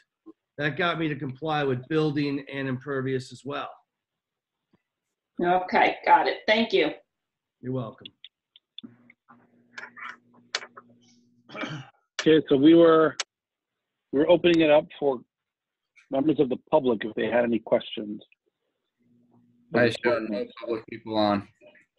Nope, so there's nobody on other than the people testifying right now. Correct. All right, so then that's gonna go for, you let me know if anybody joins, but I'm not gonna ask Bruce unless you think I should. Any more questions about who's got a comment or a question, unless somebody dials in. No, we can, we can proceed with the next witness. Okay, Mr. Rutherford. We have Mr. witness, please. Burgess, he's already been sworn. We're offering Mr. Burgess as a professional planner. I think his qualifications are, are without question in the state of New Jersey, and I'd ask him to be accepted as an expert in the field of professional planning. Mr. Burgess has been previously qualified before this board as an expert witness in the field of land use planning. And Mr. Burgess, nothing has changed in connection with your credentials since the last time you appeared before the board, correct? That is correct. Okay. And with that said, uh, we can accept him tonight if, uh, as an expert in that field, and he can render a professional opinion in that field. Please proceed. Okay, good evening, everyone. Um, When David first called me about this application, he had asked if I could just run through the statutory criteria and how this application meets it. Um, Len gave a very good description of the project, so I'm not going to go through all that again. And David, and I think the chairman also commented about all the variances that are required of the application. Uh, When I talk about the statutory criteria, I would ask that you consider four particular issues that really weave through the whole issue of um, why I feel from a professional point of view that this application should be granted. Uh, The site is undersized and it's irregular in shape, as you can see. Uh, There's a topographic differential that Len has already described. There's the site's location, particularly vis-à-vis across the street from Northern uh, Parkway, where Vets Field is. And then there's an actual vehicular and pedestrian safety issue with respect to the removal of the steps that lead down from the applicant's property down to Northern Parkway, which is a significant benefit here. Um, and all that ties into the criteria. Now, I'm pretty certain that you're all familiar with what, uh, with the criteria. Um, the statute identifies both the positive and the negative criteria, the positive being one of two alternative ways in which an applicant can address the positive criteria. Uh, in this instance, we're primarily talking about the physical features test. That basically, that's the C1 criteria. And that basically says that if there's physical features that affect the ability to comply, the board can consider the application uh, in terms of a- an approval. Uh, There's a second test, the public benefits test. And that indicates that if there's certain public benefits that will accrue from the grant of the variance relief, the board could also give consideration to that. Um, To a much, much lesser degree, I would, I could also rely on that. Primarily, I'm going to focus on the C1 criteria. Uh, In addition to that positive criteria, however, there's also the negative criteria. And as you know, that's a twofold test. An applicant has to show that there's no substantial detriment to the public good, and an applicant has to show that there's no substantial impairment to the intent of the master plan. And the word substantial just isn't something that I am using. It comes right out of the statute. Um, So in terms of the basis for the variance relief that's being requested, you know, I believe that this is a classic C1 physical features argument. And there's two critical issues here. One is the issue of the undersized lot. Um, The Ridgewood ordinance requires for a corner lot a 16,800 square foot lot. Uh, This property is 13,868 square feet in shape, in size. And its shape, as you can see from the exhibits before you, is somewhat irregular. It has a width along Fairway Road of only 101 feet. The rear lot line directly opposite that to the south is only 49 feet in dimension. Um, Northern Parkway frontage is about 145 feet, and the mean lot depth along Northern Parkway uh, measures about 87 feet. What's interesting is how the ordinance setback requirements affect the ability to comply. If you have a conventional 16,800 square foot lot, um, rectangular shape in shape, you would end up having about 3,500 square feet of buildable area that you could use to put whatever it is you want to put in your backyard. But by virtue of the configuration of this lot and its dimensions and size, the wardens only have about 930 square feet in that area to play with. Um, that's significantly less than what the code permits, obviously. And in terms of the case law and the statutory burden in terms of physical features test, I think that is very applicable to uh, the way you should discuss this application at the end of the evening. Secondly is the issue of topography. Len had indicated. Uh, there's about an eight foot drop from the developable part of the site down to Northern Parkway. Now, most ordinances um, require significant setbacks for swimming pools on corner lots because they want to make sure certain that the pool is not visible from the sidewalk or the street. And usually that plays out when you have a flat piece of property adjacent to at the same at grade as the street. But in this case, we have this eight foot drop. And in addition to that, we have the significant landscape amenity that already exists on the property. And I think you could see that from some of the photographs that I had submitted earlier. And then secondly is the, not only the existing vegetation, but the supplemental vegetation that Len has provided to make certain that from a visibility standpoint, no one walking down Northern Parkway or driving down Northern Parkway is going to see any on-site activity in this backyard. Now, there's another issue, and that is the fact that we are going to be eliminating that walkway down from the site, down the steps to Northern Parkway. And for any of those uh, board members who have been to the site, you would know that uh, Northern Parkway moves traffic at a nice, healthy clip. Um, there's a curve in the road right there. And I know I have walked up and down that sidewalk, that stairway a number of times. And as a car comes whizzing by, it's not the safest of conditions. So by virtue of eliminating that, that stairway, uh, it certainly represents a public benefit.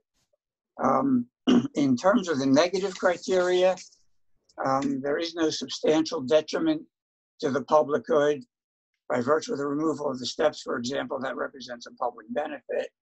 The topographic differential that I mentioned earlier and the landscape amenity that's being provided results in all on-site activity being adequately screened from the street. And as Judge Harris often used to say, you have to look at an application and determine, does this represent a better zoning alternative? And in terms of providing additional screening to on-site activity on site um, and removing that walkway down to the street, this clearly does represent a better zoning alternative. In addition to that, I looked at the, the village master plan um, and enables me to conclude that there is no substantial impairment to the intent of the plan. One of the goals and objectives of the master plan is to preserve residential neighborhoods, and it talks about specifically how important it is that dem demolitions or replacements or additions maintain the character of the neighborhood, and that's clearly what is happening in this instance. Um, the, another, another goal of the master plan talks about avoiding negative impacts to nearby properties and streets. And for all that I've just said, I think it's clear that there is no negative impact. And in conclusion, I think it's enable all this enables me to say that we meet the positive criteria, we meet the negative criteria, and it enables the board to approve this application. And if you do that, you'll be five for five for the night, which would be impressive. Thank you. Thank you, Mr. Burgess. I don't have any further questions for Mr. Burgess, Mr. Chairman. Can, uh, can you hear me? I switched headphones. Yes. Okay, very good. Uh, question on whether or not the comparable pool photos that were sent via email are going to be presented as exhibits. Is that going to be uh, done at all, or? Yeah, we can do that, Mr. Chairman. Yes, certainly. Mr. Warden took those photos. Uh, I think there were two photos, and uh, he's, he, I can just lay a quick foundation, and he can tell the board very briefly about it. Yes. If you'd like to Okay. hear, happy to do that. Uh, Sure, because I, I think they, um, the questions that I have regarding those photos, um, maybe Mr. Burgess could address as well. Okay. Mr. Warden, you were previously sworn, and I think we filed two photographs with the board uh, relating to a, a pool, a, a, a similar installation for a pool in, in the rear yard of a home on a corner lot, correct? Yep. So why don't we start first of all and tell the board where, the first photo you have on the, bo- on the, uh, on the screen is great. Where is that property located? Uh, that's, excuse me, on the corner of Collingwood and Colonial. Okay. And just orient us, where are we looking at the moment? Are we looking down? I'm, s- yeah, I'm standing at the corner, looking up, um, um, looking up Collingwood. Okay, so we're looking north on Collingwood, looking somewhat to the northeast, and you can see the pool behind the black uh, estate type fence there, correct? Yep. Okay, good. And then why don't you go to the next photo? Right, there we go. Yes, and tell us uh, where, where, that's the same pool, correct? Same pool, just I've walked up Collingwood and I'm now looking backwards towards, um, towards Colonial. Okay. And again, that uh, pool is um, located behind a home, but we've only showed it simply because it's a similar type of situation very close to your, to your property, literally around the corner from your property. Yeah, if I may, David? Um, I think this exemplifies what I was speaking about earlier. Because here you have a, a, pool that is at grade with the sidewalk in the street. And you do have, you know, some, there is some visibility here. And in contrast, when you look at the photographs that I had submitted of the warden's property, there's a, a, a wall of landscaping that you cannot see and will not see the pool and all the on-site activity um, on the warden's property by virtue of lens design. And that's a significant distinction between those photos and what's being proposed here.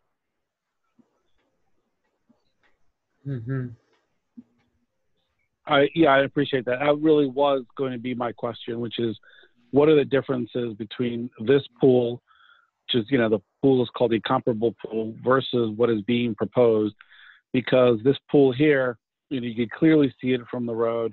Uh, this appears to be at a time of the year where, um, you know, everything is uh, at, at the height of its blooming, um, and perhaps in the winter, you know, you're going to see even more of it. So I just wanted someone to testify that, you know, the proposed pool and uh, kitchen area is going to be more um, hidden by landscaping than than this photograph. Yeah, I think the photo on the far left uh, that I had taken shows that. Um, and as Leonard indicated, you know, there's a, a variety of seasonal plantings here, and he's supplementing them as well to make certain that everything on site is screened. In addition to that, we are relocating the existing barbecue, which is close to the fence on the northern parkway side, um, to the far side of the property. Um, so that could never be seen from the street in, in this condition. We have two renderings that I did that will show you what their pool, our proposed pool will look like from North Parkway right there. You want to show them the other one? And we have one other one we could show you. Yep.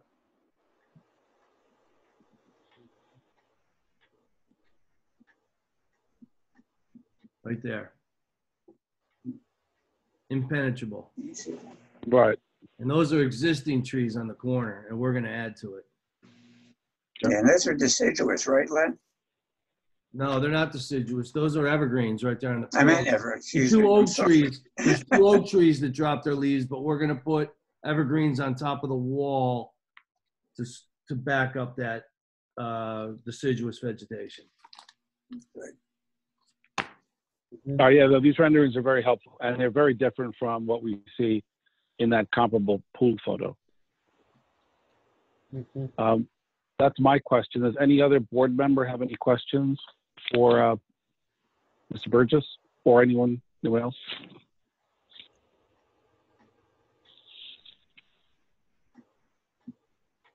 No one? Just make sure no one's raising a hand. All right, well, Mr. Rutherford, uh, there are no members of the public online.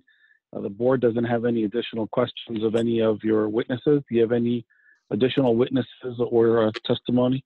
No, I don't really, I don't have anything to say, Mr. Chairman. I think the application has been, been uh, very, I hopefully very clearly presented to the board. I think you understand what the basis for our request for relief is, and we would ask the board to approve the application as, as presented. And I thank you for your time this evening. Okay, great, thank you. The hearing is now closed. Open it up for deliberations, comments, motion. Um, I'll Make a motion to approve submitted plans with a deed restriction that the plantings or, or plantings of similar, similar characteristics will be maintained for the life of the pool. Whatever that may be. So Bruce, that would be a deed restriction or a condition in the approval? Answer to that would be yes to both. It'd be a condition of the resolution that would then be done in the form of a deed restriction. All right, so do we want to at least just ask, the- ask, I'm sorry. We've done this before where it will be running with the land, so it'll be a continuous obligation for the property owner to maintain that landscaping, uh, to keep it, um, so that it is not visible from the roadway. Very good. Before we move on to a second, uh, just want to make sure Mr. Rutherford and the applicant, uh, basically are, understand what the restrictions are going to be. Yeah, I, I, uh, Mr. Whitaker, I have done these with the board previously, and I have al- always styled it as a deed memorializing conditions, which means that the, uh, to which we attach the resolution as an exhibit, and, and I make clear that it does not necessarily vest rights in the public, um, but does, uh, is, is recorded so that future uh, property owners are aware of the action the board taken and the conditions it imposed. Correct? So that, so that those conditions, so everyone understands it, are conditions when they are imposed that the village can enforce. Correct. And by running with the land, uh, members of the board, once again, no one can say that a new owner of the property, no one can say, I didn't know that, because it shows up in a search when they are purchasing the property. Correct. Yeah, I, I know, I, I, I was, I can't consult with my clients, but I can, I can tell them just very briefly that uh, the board, this board does this regularly. And uh, to my mind, not a bad thing because it makes uh, all future owners of the property aware of the action the board took and the conditions it imposed. And as Mr. Whitaker just indicated, uh, it does eliminate the possibility of a future owner coming in and say, I didn't know. I didn't know I had to maintain those plantings. I didn't know I had to do this. Future owners will be aware of it. My clients, quite honestly, would have the obligation to disclose this to a future owner anyway, even if it were not of public record. So uh, I have no objection to that. Okay. So I'll with that, second. With that, it'll be uh, Greg seconding. Okay. Uh, Greg Brown, Yes. Gary Negritz, Yes. Diana Rule, Yes. John Pepitro, Yes. Isaac Lebo, Yes. Matthew Bandel, Yes. Chairman Allegra. Yes. And we did go five for five. Congratulations. Congratulations uh, to the wardens. Good luck. Enjoy that pool. Thank you very much, Mr. Chairman, members of the board. Thank you. All right. Thank you. Um, all Good right, evening. So we don't have any resolutions to memorialize. We approved the minutes. Um, when's our next meeting, Jane? Monday. We have meeting Monday night and Tuesday night. So we have a Monday and a Tuesday. Yes. All right. And I only have two, I only have two on them. Okay. Okay. Anybody who's not available, uh, just you know, shoot Jane a note, and we'll just make sure we have a quorum. Mhm. But uh, other than that, we'll take a motion to adjourn. I got a quick question. Can I? Oh, yeah. Sorry. Bruce, I was reading their old resolutions. Do we attach? We lost you. Hmm. Three percent gone. Oh, sorry. Do we put a copy of the zoning chart to the resolution? Is it something we can start here forward? Can you guys hear me? Yeah. Yep. I Can you don't, guys- I think can we you guys might hear me? lost Bruce, Bruce. I think Bruce left. I think Bruce. Yeah. He didn't even off. say goodbye. Irish goodbye. Bye, Bruce.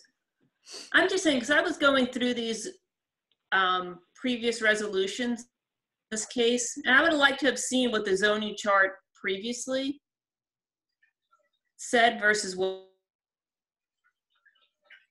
Just like we don't have, it was marked as exhibit at the public hearing, but if it's not here, we don't have the whole item in this case. I would think that would be a good idea. If there's no rule against it, we can request that it be done. Become, Yeah, it's I would definitely like to something we should asked. bring. So let's bring that up with Bruce next meeting. It's a good idea. yeah. That Yeah, way, it's Yeah, for this- weird for- with those numbers. And I couldn't go back and find it, Right. because they had to get a gross building area variance last time. So One it was something I would like to have seen what the numbers were. Anyway, if you can ask Sarah Jo, I appreciate it. Okay. yeah, well, we have found over time that some people's mathematics were memorialized, but they weren't particularly accurate. Yeah. No, but it would be nice just as a comparison's sake. Yeah, And again, half the things were flooded out anyway, so we don't have those. Yeah. But All right. I'll, I'll send him a note. if possible, just a thought. Thank you. Anyone else? All right. Yeah. I, motion to adjourn. Go celebrate your son's birthday. Greg, next time, Yeah. a different background. Mm-hmm. Okay, I'll work on a better one next time. Yeah. Keep you guys posted. All right. Have a good one, guys. Bye-bye. Bye. Good night. Night, everyone. Thanks, Dylan. Anytime.